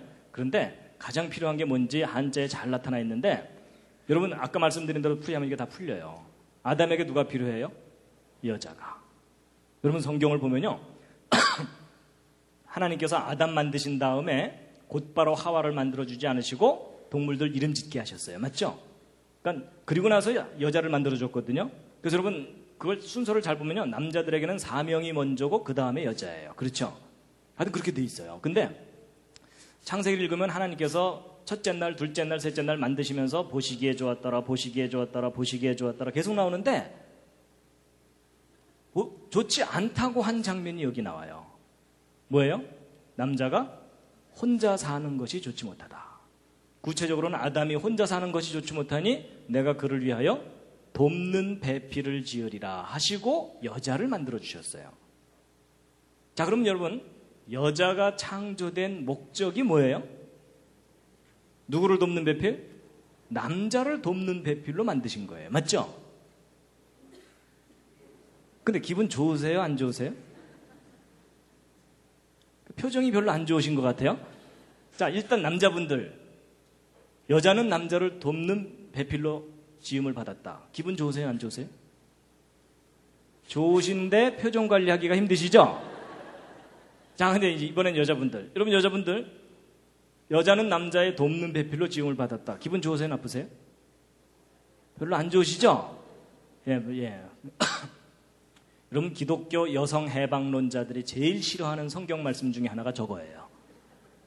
왜 남자가 주연이고 여자가 조연이냐 이러면서 아주 싫어하거든요. 근데 여러분 그거는 오해입니다. 여러분 이 돕는 배필을 정확하게 모르기 때문에 오해를 하시는 거예요. 여러분 저거 절대로 기분 나빠하실 일이 아니에요. 자, 여러분 제가 돕는 배필이 뭔지를 알려드릴 텐데요. 제 질문에 한번 대답을 해보세요. 자, 돕는 배필. 여러분 똘똘한 사람이 띨띨한 사람을 돕습니까? 띨띨한 사람이 똘똘한 사람을 돕습니까?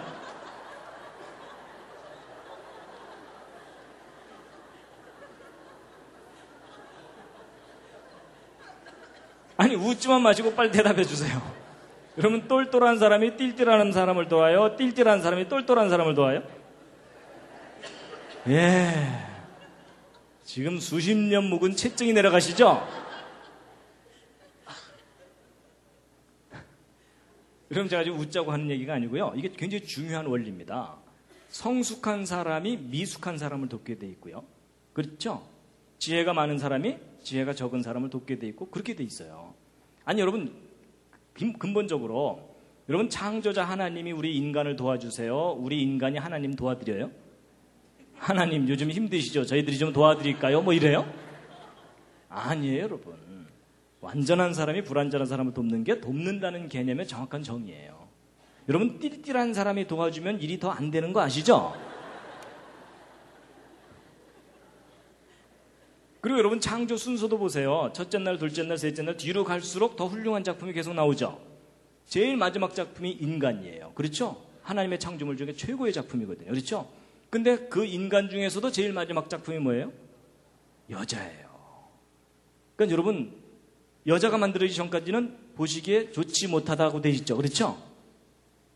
그러니까 여러분 하나님의 그 위대한 창조 작업의 제일 마지막 작품이 여자인 거예요. 그러니까 창조의 피날레입니다. 자부심을 가지시기 바랍니다. 맞죠? 예. 그러니까 여러분 결혼의 정의가 뭐예요? 똘똘한 똘똘한 여자가 띨띨한 남자를 만나서 열심히 도와주는 거예요. 근데 여러분 여기에도 중요한 의미가 있는 게 뭐냐면요. 여러분 하나님이 인간을 만드셨을 때 중요한 원리를 두신 게 뭐냐면 남을 도울 때 보람과 자기 존재의 의미와 기쁨을 느끼면서 살도록 만드셨어요. 맞죠? 여러분 혼자 잘 먹고 잘 살자고 하는 사람들 잘 먹고 잘 살 때는 좋아요. 근데 마지막에 삶이 허무해요. 근데 여러분 정말 자기 자신이 어렵지만 어려운 사람을 도와주는 사람은 절대로 낙담하지 않습니다. 맞죠? 살아보시니까 그렇잖아요. 그러니까 여러분, 돕는 사람은 도와서 보람을 느껴서 기쁘고, 도움을 받을 수 있는 사람은 언제라도 도움을 받을 수 있으니까 기쁨을 느끼고. 특히 분당 지역, 이 지역 학생들 열심히 공부시키잖아요? 근데 여러분, 왜 학생들 열심히 공부해야 되죠? 정답이 뭘까요? 남을 도우려고. 왜 박사학위까지 공부해야 되나요? 남을 더 많이 도우려고, 더 잘 도우려고. 여러분 사실 그게 정답입니다. 너 공부 잘해서 출세해라. 이거 결코 해야 될 말이 아닙니다. 남을 잘 도우려면 공부 열심히 해라. 그렇게 가르쳐야 됩니다. 동의하십니까? 이거 정말 중요한 겁니다. 그렇죠? 예. 그러니까 여러분 이 문제가 잘 해결되면요. 한국교회 에큰 문제가 해결됩니다. 교회에 자매들이 너무, 너무 많아요. 그렇죠? 그래서 결혼 정년기가 된 자매들이 신랑감 구하기가 힘들어요. 신앙도 있어야 되죠. 그리고 어느 정도 뭐 어? 능력도 있어야 되죠. 이런 형제들이 교회에 없잖아요. 그렇죠? 아니, 없, 없다 그러면 좀 그렇고. 하여튼 이게 비율이 안 맞잖아요. 맞죠? 그래서 이제 교회 관연한 처자들이 많아요. 그렇죠? 근데 그것도, 물론 저는 그게 한국교회의 그, 한국교회가 그동안 잘못한 거라고 봐요. 여자들만 주로 전도를 하고 남자들 전도에 힘을 안 써서 그래요. 그렇죠? 남자들은 앞뒤가 맞아야 되고 합리적으로 따져야 되는데 묻지마 신앙을 강조하다 보니까 이 남자들은 잘 믿기가 힘든 거예요. 그러느라고 남자들이 적어졌거든요. 그러니까 여러분 이제 그 점도 물론 있지만 자매들도 생각을 바꾸셔야 돼요. 괜찮은 남자 만나서 호강해야 되겠다. 절대로 성경적인 생각 아닙니다. 어떻게 하셔야 돼요? 예, 어디 띨띨한 남자 없나 이러면서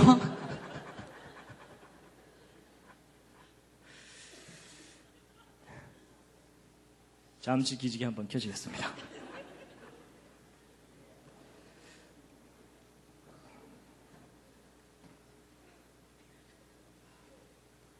재미있으시죠? 예, 재밌는 겁니다. 예. 아, 좌향 좌에서 옆에 있는 분 안마 해드리겠습니다. 예. 좌향좌 하셔서 옆에 있는 분 안마를 좀 시원하게 좀 두들겨 주시기 바랍니다. 예. 예. 뭐 잘 모르는 분도 그냥 작정 두들기시기 바랍니다. 예.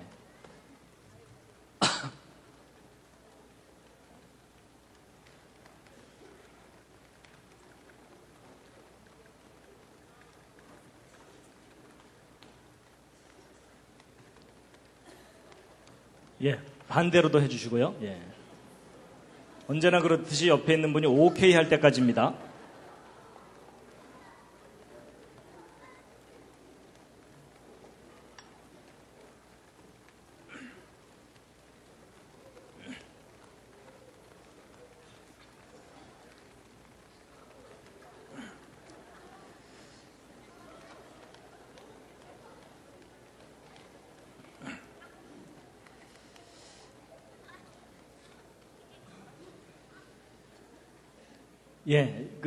한자 이야기 차근차근 이렇게 하면 두 시간 걸립니다. 그래서 두 시간 또 했다간 또안 될 것 같아서 제가 중간중간을 조금 빠르게 건너뛰면서 좀 하겠습니다. 다 할까요? 아 예, 그러면 안 됩니다. 시간이 너무 부족합니다. 예. 그러니까 여러분 그 부부싸움 할 때 누가 참아야 됩니까? 똘똘한 여자가 참아야 됩니다. 똘똘한 여자가. 그렇죠? 예, 띨띨한 사람은 뭐 못 참아요. 제발 좀 참아주시면 감사하겠습니다.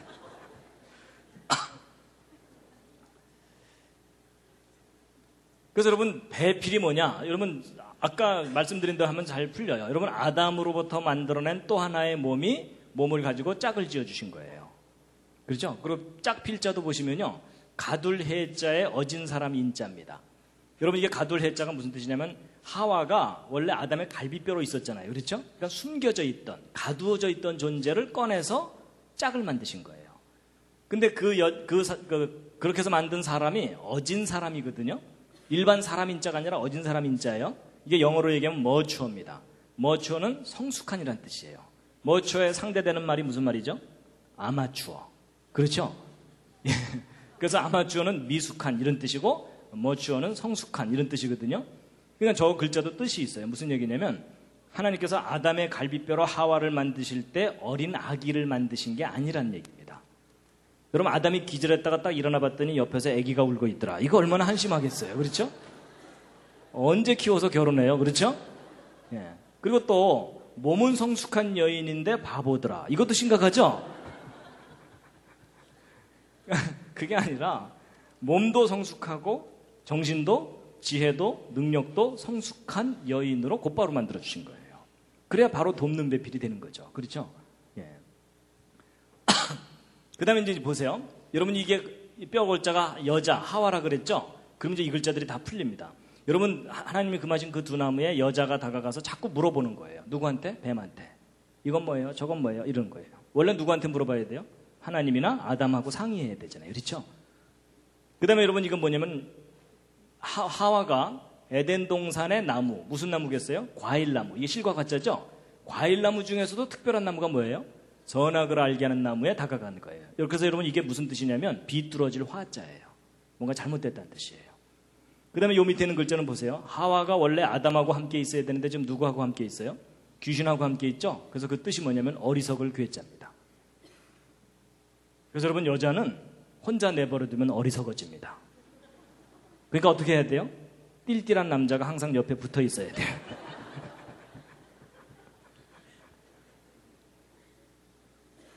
그 다음에 이제 영혼이 뭐냐? 여러분, 이 혼자. 이게 뭐냐면 이를 운자의 귀신 귀자거든요. 이게 뭐냐면 귀신과 하와가 대화한 내용의 주제가 영혼이에요. 여러분, 하나님께서는 반드시 죽는다고 하셨죠? 근데 하와는 헷갈려갖고 죽을까 하노라 이랬고 뱀은 아예 거짓말을 하면서 안 죽는다 이랬죠? 도대체 뭐가 죽는다는 얘기예요? 하나님이 인간에게 주신 영혼. 우리를 영원히 살리는 그 영혼이 죽느냐 사느냐 그 문제였어요. 맞죠? 그 다음에 이제 벌거벗을 낫자입니다. 여러분, 이 벌거벗을 낫자, 왼쪽에 요 글자가 오드이자고, 오른쪽이 실과 가짜죠? 이 실과가 무슨 실과겠어요? 선악을 알게 하는 나무예요. 선악을 알게 하는 나무 때문에 옷을 해 입은 거예요. 왜냐하면 벗은, 벗은 줄을 깨닫고. 그래서 아담과 하와가 무화과 나무 잎을 엮어 치마를 했다고 돼 있죠. 근데 이제 하나님께서 짠하고 나타나셔갖고 야 니네들 패션 좋다 계속 입어라 이러셨나요? 아니에요. 하나님께서 옷을 바꿔주셨어요. 무슨 옷으로 바꿔주셨죠? 그게 가죽 옷을 지어 입히셨다고 돼 있어요. 아니 왜 그냥 무화과 잎을 엮어서 계속 입고 살면 되는데 왜 가죽 옷을 지어 입히셨을까요? 근데 저게 중요한 뜻이 있습니다. 일단 여러분 가죽 옷을 지어 입히시려면 어느 동물이 대신 피 흘리고 죽어야 되죠. 어느 동물일까요? 성경으로 볼 때? 양이에요. 그럼 아담과 하와가 양의 펄가죽 옷을 지어 입고 있겠죠? 근데 그걸 나타내는 글자가 모양형자예요. 이 모양형자거든요. 여러분 이게 요 왼쪽에 있는 요 글자가 방패간자 두 개 붙여놓은 거예요. 근데 이 방패간자라는 뜻도 있지만 무슨 뜻이 있냐면 죄를 범할 간자라는 뜻이 있어요. 그러니까 죄를 범한 아담과 하와에게 이게 털럭삼자죠 펄 가죽 옷을 지어 입힌 모양 이런 뜻이에요. 그러면 왜 무화과나무 뭐 잎, 뭐 입풀려고치마는게 어때서 가죽 옷을 바꿔주셨느냐 하는 건데 여러분 이게 이제 상징적인 게 뭐냐면 여러분 무화과나무 뭐 입풀려고 치마를 하는 게 무슨 뜻이냐면 인간이 자기의 잘못과 죄를 스스로 해결하려고 노력하는 거예요. 이게 모든 종교를 상징합니다. 그런데 그 방법으로는 너희들을 구원할 수 없다. 내 방법으로 구원해야 된다라고 하나님이 가르쳐 주신 게 뭐예요? 어느 동물이 누군가가 너희를 위해서 피를 흘리고 그 죄값을 치러야만 너희들의 죄가 해결되는 거다라고 가르쳐 주신 게 가죽옷입니다. 복음이죠. 그렇죠? 그래서 진짜 어린 양의 희생에 피를 흘리면 너희들의 죄가 해결된다는 거예요. 그래서 여러분 절대로 인간의 노력으로는 구원 못 받습니다. 그래서 하나님 저를 구원해 주십시오라고 하나님의 방법에 의지해야만 구원받습니다. 그게 이제 여기에 들어있는 겁니다. 근데 이제 왕께서 눈으로 어진 사람을 보는 거예요. 볼견자죠? 그리고 하나님께서 보시는 거예요. 그래서 나타나서 살펴보시는데 아담과 하와가 어디에 숨었어요? 동산 나무 사이에 숨었다고 돼 있죠? 그래서 여러분 이게 숨다, 비키다라는 타자인데 몸이 나무에 숨어 있는 것을 나타내고 있어요. 근데 여러분 하나님 나타나셨으니까 아담과 하와가 나무 뒤에서 나와야 되죠?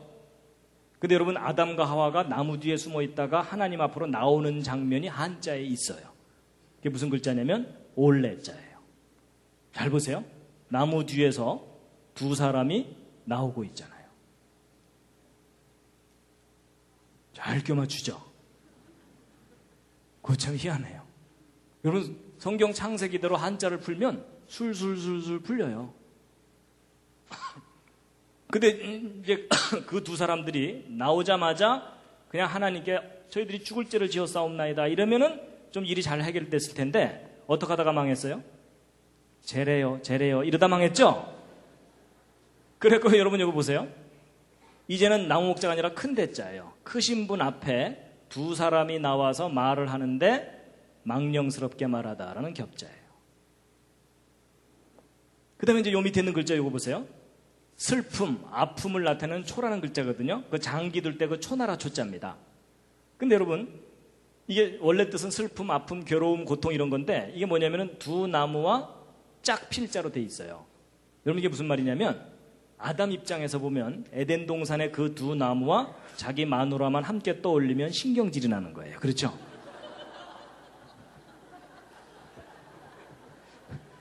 왜냐하면 지금 현재의 슬픔과 교통과 고로, 어, 고통과 괴로움이 다 저 사건 때문에 그런 거잖아요. 그렇죠?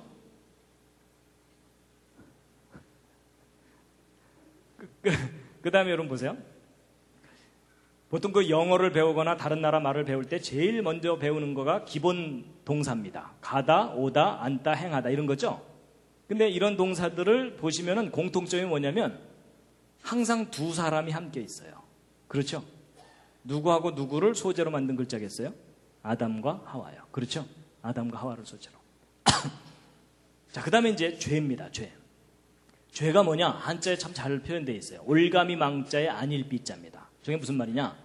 하나님이 하신 말씀을 아니라고 부정하는 올가미에 걸려들면 죄를 짓는 거예요. 하나님의 말씀을 아니라고 하는 것이.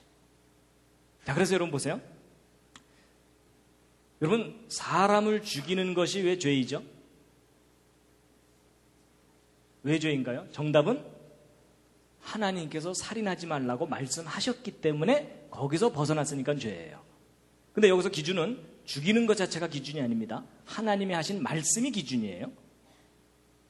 자, 그러면 여러분, 사람을 죽이지 않으면 죄가 되는 경우가 있는 거 아세요? 어떤 경우일까요? 이스라엘 민족이 이집트를 탈출해서 애굽을 탈출해서 가나안 땅 들어갈 때 하나님 뭐라고 명령하셨죠? 예, 가나안 사람들을 어린아이라도 불쌍히 여기지 말고 다 죽여라. 이렇게 돼 있어요. 그렇죠?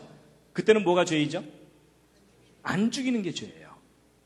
그러니까 여러분, 사람을 죽이는 것 자체가 절대적인 죄의 기준이 아니고 하나님의 말씀이 절대적인 기준이에요. 여러분 그 가나안 땅 들어갔을 때 왜 가나안 사람을 다 죽이라 그랬냐면 그때 가나안 사람을 죽이지 않으면 이스라엘 사람들까지도 다 오염이 돼 갖고 전 인류가 다 죽어요. 그러니까 인류를 살리기 위해서는 그 가난한 사람들을 죽여야 돼요. 그래야 오염이 안 되거든요.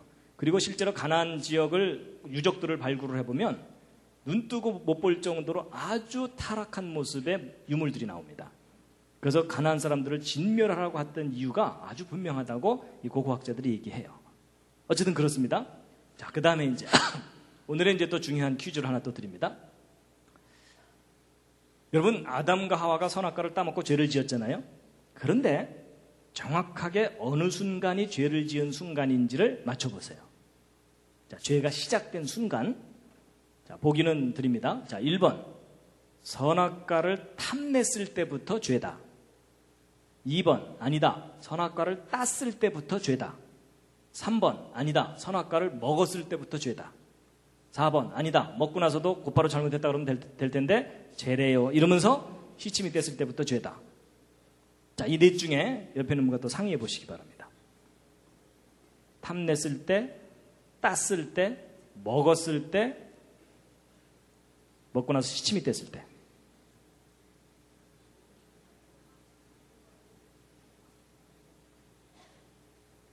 자, 이제 확인해 보겠습니다.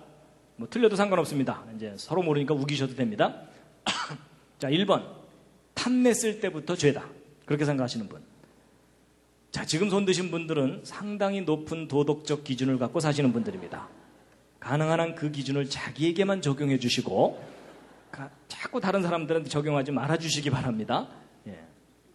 자, 두 번째. 땄을 때부터 죄다. 딴 거는 다시 붙여놓을 수 없지 않느냐. 자, 이분들은 이제 행동을 중요시하는 분들이기 때문에 이분들 앞에서는 행동을 조심하시기 바랍니다. 자, 세 번째. 먹었을 때부터 죄다. 자, 지금 손 드신 분들은 어떤 분들이냐면 다 따놓고 먹지만 않으면 죄가 아니다. 이렇게 우기는 분들입니다. 아주 뻔뻔한 분들입니다. 그러니까 선악과 다 따놓고 깔고 앉아갖고 아직 안 먹었는데요. 뭐 이러면서 이제 어, 그 얘기가 그 얘기잖아요. 그렇죠? 네 번째, 먹고 나서 시침이 뗐을 때부터 죄다 자, 이분들은 상당히 너그러운 분들입니다. 네, 예, 밥좀 많이 얻어먹으시기 바랍니다. 정답이 몇 번일까요? 정답은 제가 사실 힌트 드렸습니다. 정답은 3번입니다. 먹었을 때부터 죄입니다. 왜냐하면 여러분 아까 죄의 기준이 뭐라 그랬죠? 하나님이 하신 말씀이 기준이라 그랬죠? 그럼 여러분 이거 정말 중요한 건데 하나님이 뭐라고 말씀하셨는지를 아는 일이 제일 중요해요. 맞죠? 여러분 보통 사람들이요 성경은 자세히 안 읽어보고 자기 생각 갖고 기준을 정해요. 그건 절대로 성경적인 생각 아닙니다. 여러분 하나님 뭐라고 말씀하셨을까요? 뭐라고 말씀하셨죠? 하나님의 말씀은 먹지 말라고 하셨어요. 맞죠? 여러분 성경 아무리 들어도 하나님께서 따지 말아라 없고요. 가까이 가지도 말아라 없습니다. 탐내지 말아라도 없어요. 먹지 말라고 돼 있어요. 그래서 먹은 순간부터 죄예요. 근데 한자 속에 그게 정확하게 나와 있다니까요. 여러분 이게 시작 같다는 시자죠? 이게 뭘 시작하는 거냐면요. 옛날 그림 글자가 더 리얼해요. 여자가 입 안에 뭔가를 먹었어요.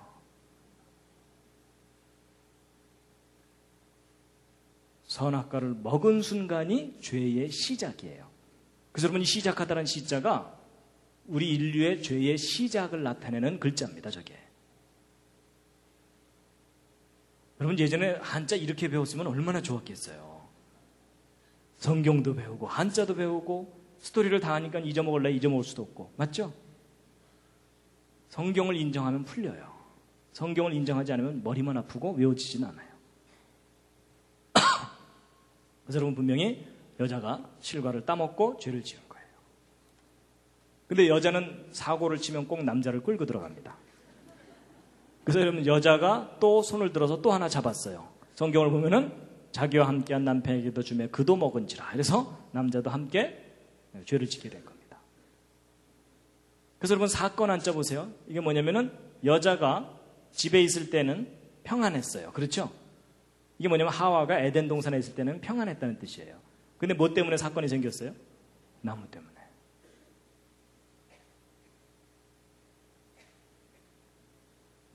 자기가 좀 어려우니까 좀 넘어가고요. 여러분 형사 처벌 받는다 그럴 때 형자는 뭐냐면 죄를 범한 두 사람에 대한 징계입니다. 벌 받는 건 뭐냐면 하나님의 말씀에 어긋난 것에 대한 징계예요. 벌 받는 겁니다. 그래서 여러분 여자가 받은 벌은 뭐죠? 잉태하는 수고, 해산의 고통을 더하게 했다 그랬죠? 더하게 한다는 표현이 있는 걸로 보아서 창조 때에도 해산의 고통은 있었던 것 같아요. 근데 그게 심하지는 않았던 건데 죄를 짓고 나서 극심해진 거라. 그 다음에 이제 남자는 받은 벌이 뭐냐면은 내가 얼굴에 땀이 흘러야 먹을 것을 얻게 될 것이다. 있죠? 그래서 여러분 이게 뭐예요? 땀 한 자거든요. 죄를 범해서 흘리게 된 물, 이게 땀이에요. 죄를 좀 심하게 지으면 식은 땀이 흘러요. 그렇죠? 그래서 이제 남자는 에덴 동산에서 쫓겨나서 죽어라고 일해야 돼요. 근데 여러분 아담과 하와 둘 중에 누가 더 죄가 클까요? 하와라고 보통 생각하시죠? 아니에요. 한자를 보면은 쌤쌤이다 이렇게 돼 있어요.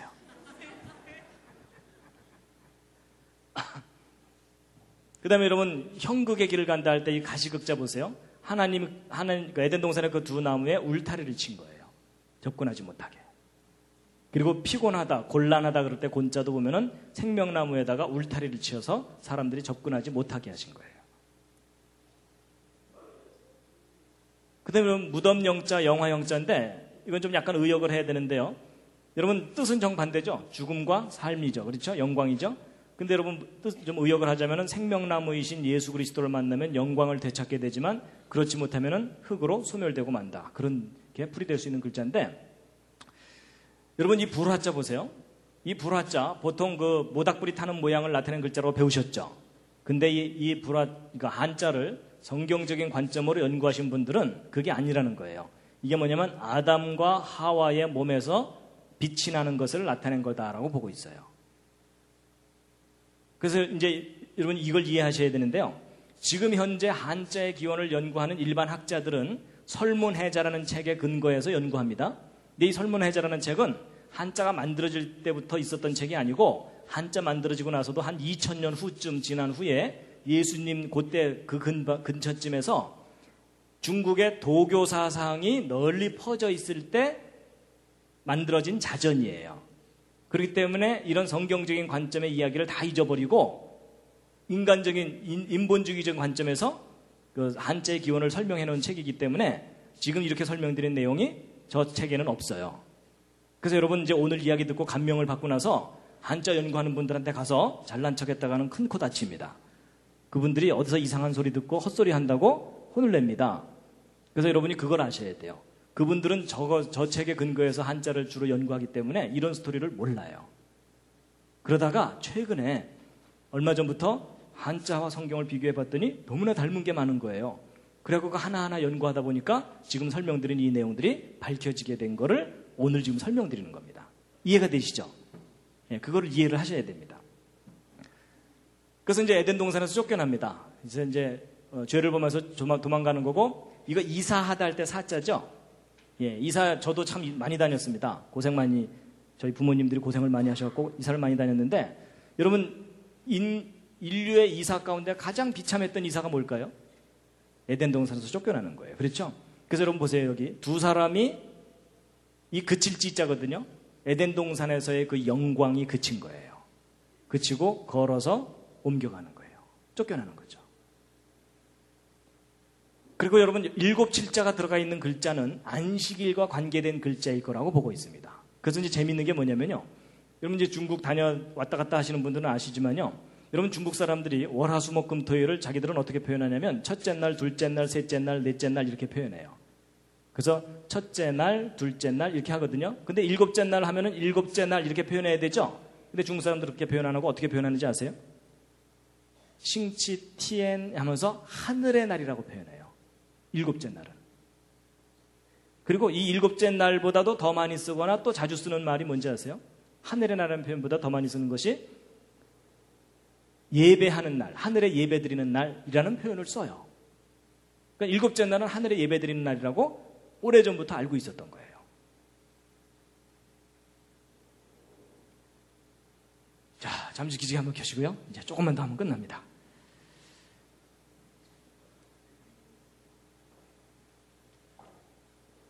다리도 한번 쭉 펴시고요. 예, 지금 몸이 많이 굳으셨습니다.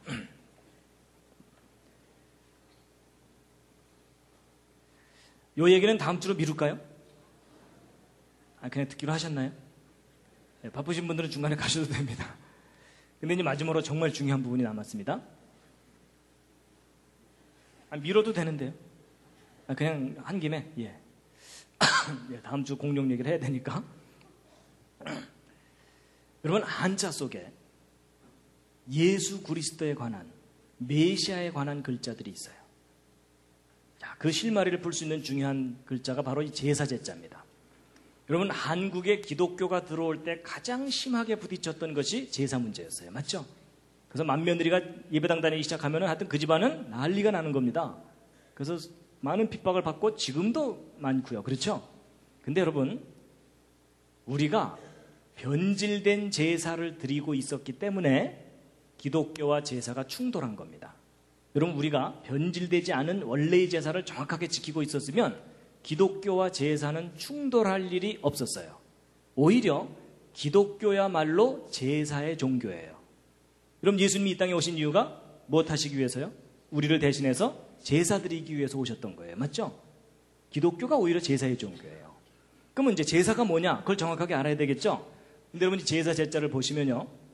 여러분 왼쪽에 올라가 있는 요 글자의 원형의 어, 뜻이 뭐라고 보고 있냐면 살육자라고 보고 있습니다. 그리고 여러분 또우자라고 알려진 이 글자 있죠? 한자 자전 찾아보시면 용서란 뜻이 아주 분명하게 있는 글자입니다. 그리고 이게 아까, 아까 시자는 신, 하나님과 관계된 글자라 그랬죠? 그럼 여러분 제사가 뭐냐면 희생의 제물을 가지고 하나님께 용서를 구하는 것, 이게 제사입니다. 이런 제사에 관한 가장 중요한 세 가지가 나타나 있어요. 제사의 방법, 제사의 목적, 제사의 대상.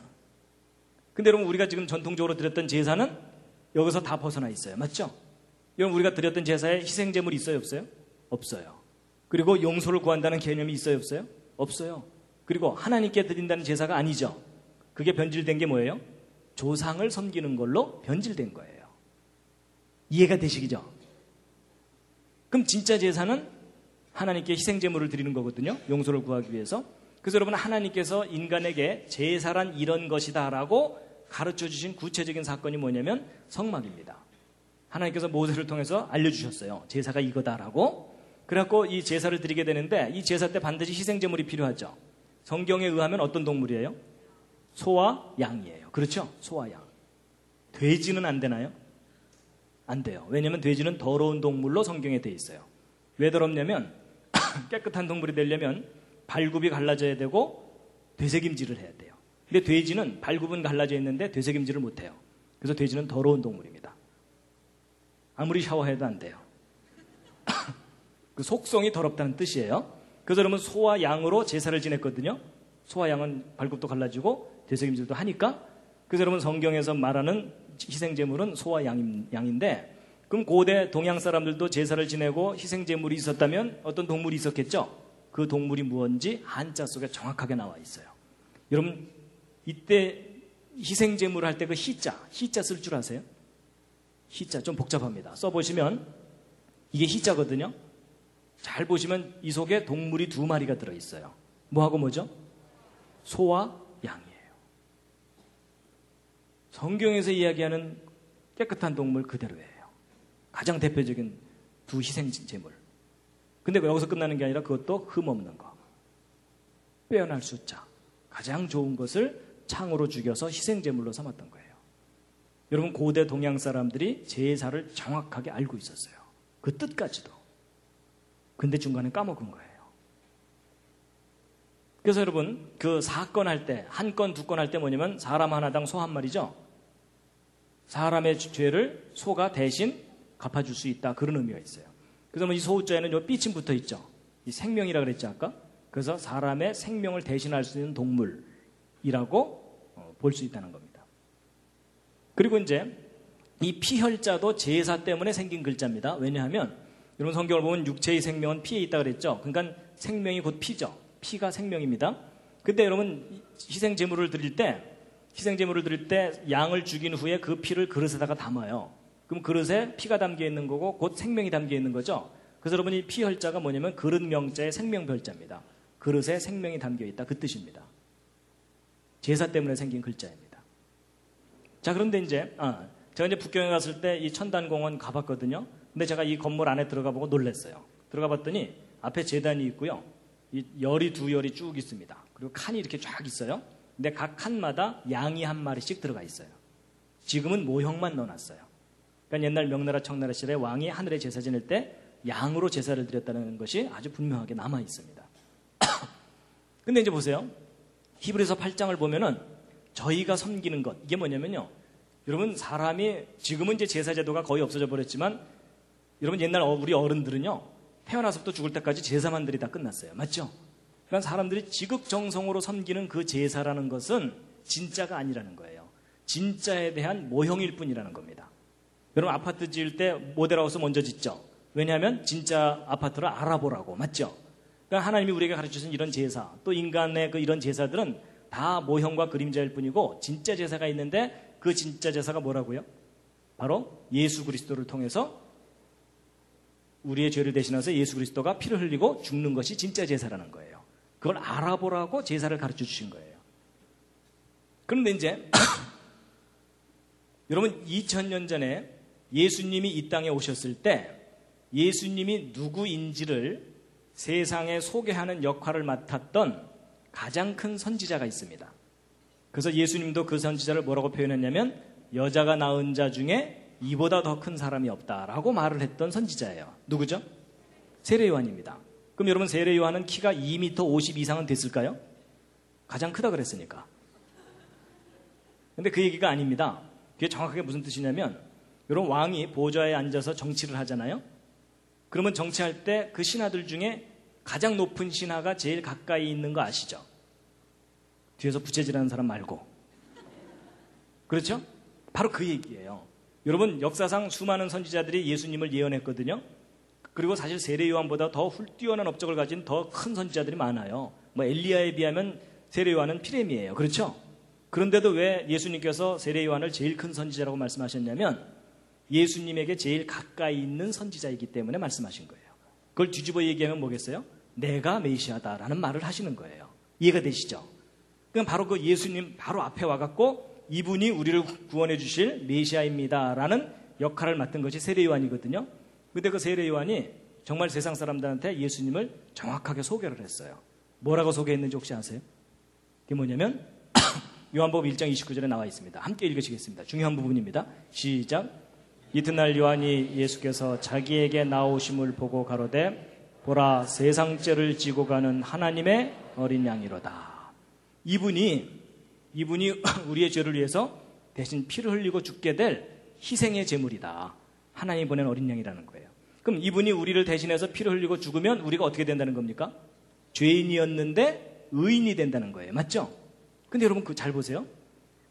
하나님의 어린 양이 나를 위해서 대신 죽으면 내가 어떻게 된다고요? 의로워진다는 거예요.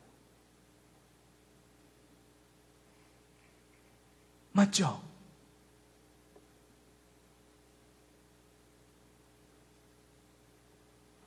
여러분 우리가 그동안 교회를 통해서 성경 공부를 통해서 들어왔던 그 말을 옛날 사람들이 알고 있었던 거예요. 여러분 양이 의로운 동물일까요? 여러분 이건 양이 의롭다는 얘기를 하는 게 아닙니다. 여러분 양이 의로운 동물이 되려면 어떻게 해야 돼요? 늑대가 와서 옆에 있는 양을 물어 죽이려 그러면 이 양이 울분을 느끼면서 그 늑대한테 달려들어야 돼요. 맞죠? 그래야 양은 의로운 동물이에요. 근데 여러분 양 자체는 의로운 동물이 아니에요. 옆에 있는 양이 물려 죽어도 이 양은 도망가기 바빠요. 그러니까 양 자체가 의롭다는 뜻을 가진 글자가 아닙니다. 하나님의 어린 양이 나를 위해서 대신 죽으면 내가 의로워진다는 것을 나타내는 글자가 저 글자입니다. 그럼 나는 누구냐? 손에 창을 들고 하나님의 어린 양을 죽여야 하는 죄인이에요. 이해가 되시죠? 그래서 여러분 한자 중에 희한하게도 이 양양자가 들어간 글자를 잘 보시면요. 다 좋은 뜻을 갖고 있어요. 거의 대부분이 좋은 뜻을 갖고 있어요. 여러분 양은 결코 아름다운 동물이 아니에요. 여러분 양보다 훨씬 아름다운 동물들이 많아요. 맞죠? 양 자체가 아름답다는 게 아니고 하나님의 어린 양이 우리를 위해서 대신 피를 흘리고 희생하시는 것이 아름답다는 그런 의미가 담겨 있는 거고 그것이 선하다는 것을 나타내 주는 겁니다. 그러니까 여러분 이 양양자는 하나님의 어린 양, 곧 예수를 상징하는 글자라고 보시면 돼요. 그러니까 여러분 여자 이름 중에 좋은 이름이 뭐겠어요? 미선이에요. 그 다음 좋은 이름은 뭐겠어요? 선미요.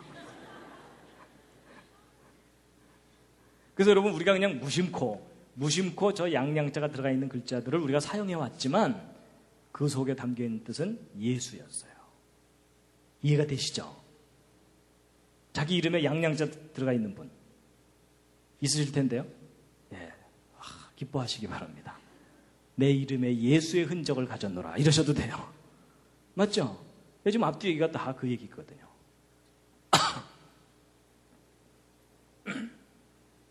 그래서 여러분 2000년 전에 이 땅에 오셨던 예수 그리스도가 바로 하나님의 어린 양이셨습니다. 저 사건으로 인해서 여러분과 저는 죄에서 풀려난 겁니다. 힘드시죠? 조금만 참으세요. 곧 오십니다. 그래서 여러분 이 상자 보세요. 상자가 뭐냐면 하나님의 어린 양이라는 뜻이죠. 여러분 저게 무엇과 관련된 건지 아세요? 옛날 우리 조상 어른들이 하늘에 무슨 이상한 징조가 나타나면은 뭐라고 탄식했어요? 어, 상서로운 징조고. 그런 거 기억나세요? 그게 무슨 말이에요? 우리 조상들이 누구를 기다려왔다는 뜻일까요? 하나님의 어린 양의 징조를 기다려왔다는 뜻입니다. 여러분 하나님께서 에덴 동산에서 아담과 하와를 내어 쫓으실 때 뭐라 그러셨냐면 여자의 후손 중에 뱀의 머리를 밟을 자가 태어날 거다. 그러니까 메시아가 사람의 아들의 형태로 올 거다라고 예언을 하셨어요. 그리고 그 메시아가 올 때는 하늘에 징조가 있을 거다 그랬죠. 그래서 동방 박사들이 그 별을 보고 찾아왔다 그랬죠. 이제 그 별 제가 이제 가을 학기에 나머지 다섯 개 강의할 때 그 별 직접 확인시켜 드릴 겁니다. 보시게 될 거예요. 그러니까 여러분 아담 이후 모든 사람들은 메시아를 기다려왔어요. 그래서 산의 아이가 태어날 때마다 뭐, 태어날 때마다 뭘 기대했겠어요? 이 아이가 혹시 우리를 구원할 메시아가 아닐까라는 그 기대감이 아마도 남아 선호 사상의 뿌리가 됐을 가능성이 있다고 봐요. 남 산의 아이의 모습으로 온다 그랬으니까. 이제 이 생각할 사자 한번 풀이해 보시죠. 무엇에 대한 마음입니까? 에덴 동산에 대한 마음. 여러분 힘들고 괴로울 때마다 좋았던 시절이 떠오르잖아요. 그렇죠? 그러니까 아담의 후손들은 힘들 때마다 어디가 떠올라요? 에덴 동산. 그러니까 여러분 사람이 괴로움을 당할수록 사상이 깊어집니다. 맞죠? 그래서 사상 그럴 때 사자입니다. 생각할 사자. 그래서 인생의 괴로움이 그 사람의 생각을 깊게 만듭니다. 기도가 뭔지 한자 정확하게 나와 있습니다. 하나님께 목숨을 구하는 겁니다. 이 목숨은 우리 이 육체적인 생명의 목숨을 구하는 게 아니라 우리의 잃어버린 영원한 생명을 구하는 것. 그리고 이제 복은 뭐죠? 풀이해 보시죠, 이제. 하나님께서 하늘에서 또는 첫 사람 아담에게 에덴 동산을 베풀어 주신 것. 그게 복이었어요. 맞죠? 근데 저 복을 우리가 잃어버렸죠. 잃어버렸는데 예수 그리스도 통해서 다시 우리에게 주신다고 하셨죠? 그래서 예수 그리스도의 복음이라고 말하는 거가 그 얘기입니다. 이해가 되시죠? 자, 이제 여기까지 한자를 쭉 설명드렸는데 그럴듯 하셨습니까? 예. 근데 잘 인정이 안 되시는 분들은 뻥이지만 재밌다. 이렇게 생각하셔도 되겠습니다. 근데 여러분, 한두 글자가 아니라 너무 많은 글자가 성경 이야기를 그대로 담고 있습니다. 이런 지금 우리의 그 긴 역사의 비밀을 오늘 아시는 순간입니다. 우리 역사의 그 긴 역사의 그 비밀입니다, 이게. 근데 이제 뭐 보세요. 너무나 분명하게 한자 속에 그 이야기들이 다 들어있는데 지금 현재 중국 사람들이 이걸 알아요, 몰라요? 대부분 모릅니다. 모른다는 얘기는 둘 중에 하나입니다. 제가 지금까지 열심히 설명드렸던 이 내용이 다 꾸며낸 얘기거나 거짓이거나 아니면 이게 어느 정도 타당한 근거가 있는 거라면 이 중국 사람들이 그들의 역사 속에서 이 모든 이야기들을 다 잃어버린 겁니다. 근데 그럼 잃어, 잃어버렸다면 무슨 계기가 있었겠죠? 그 계기 중에 가장 결정적인 거라고 생각하는 것이 뭐냐면 바로 진나라의 진시황입니다. 기억하시죠? 이 진시황. 만리장성을 대대적으로 쌓고, 그 다음에 천하통일을 했고, 중국 천하통일을 했고, 만리장성의 무덤, 어, 진시황의 무덤, 어마어마합니다. 그렇죠? 근데 이 천하의 진시황, 만리장성을 만들고 순장 무덤을 이제 만들, 만들고 그래서 그 유물들을 우리에게 남겨줬지만, 이 진시황이 정말 음, 어, 안 좋은 일을 한 게 뭐냐면요. 바로 분석행위와 봉선제 폐지예요. 여러분 분석행위가 뭐냐면 책을 다 불살라 버리고 지식인들을 생매장시켜서 다 죽였어요. 막 청소를 해버린 거예요. 그러면 저러면 저렇게 되면 어떤 결과가 나타나죠? 역사가 소멸돼 버립니다. 그러니까 진시황 이전의 역사가 다 사라져 버리는 거예요. 그리고 봉선제라는 제사 제도를 폐지시켰거든요. 저게 뭐냐면 하늘의 상제에게 제사 지내던 제도예요. 그러니까 신에게 제사 지내던 거예요. 여러분 중국 사람들은 희한하게도요. 이 고대 바벨론, 아시리아, 이집트, 그리스, 로마 다 우상 숭배를 했거든요. 형태가 있는 신을 만들어 놓고 근데 고대 중국인들은 희한하게도 형태가 없는 신을 섬겼어요. 그걸 표현하는 것이 상제예요. 상제. 그래서 중국 사람들이 그런 개념을 갖고 있었기 때문에 성경을 중국말로 번역해 줄 때도 하나님을 곧바로 상제라고 바로 번역을 해 줬어요. 이해가 되시죠? 근데 그 상제에게 제사 된다는 제사인데 이 봉선제 때 제문을 읽는데 제문의 내용이 성경 창세기의 창조 스토리하고 아주 비슷합니다. 그런데 이제 이진시황 역사를 이렇게 말살시켰는데 진시황이 없애지 못한 게 하나 있어요. 그게 뭐냐면 천하의 진시황이 없애지 못한 게 한자예요. 오히려 이 진시황이 잡다하게 있던 한자들을 정리를 해서 표준화를 시켰어요. 그래서 우리가 지금 보고 있는 이런 제대로 된 이 글자들은 진시황 때 확립된 겁니다. 근데 이 진시황이 없애지 못한 그 한자가 다 뜻을 갖고 있고 의미를 갖고 있는 글자들이잖아요.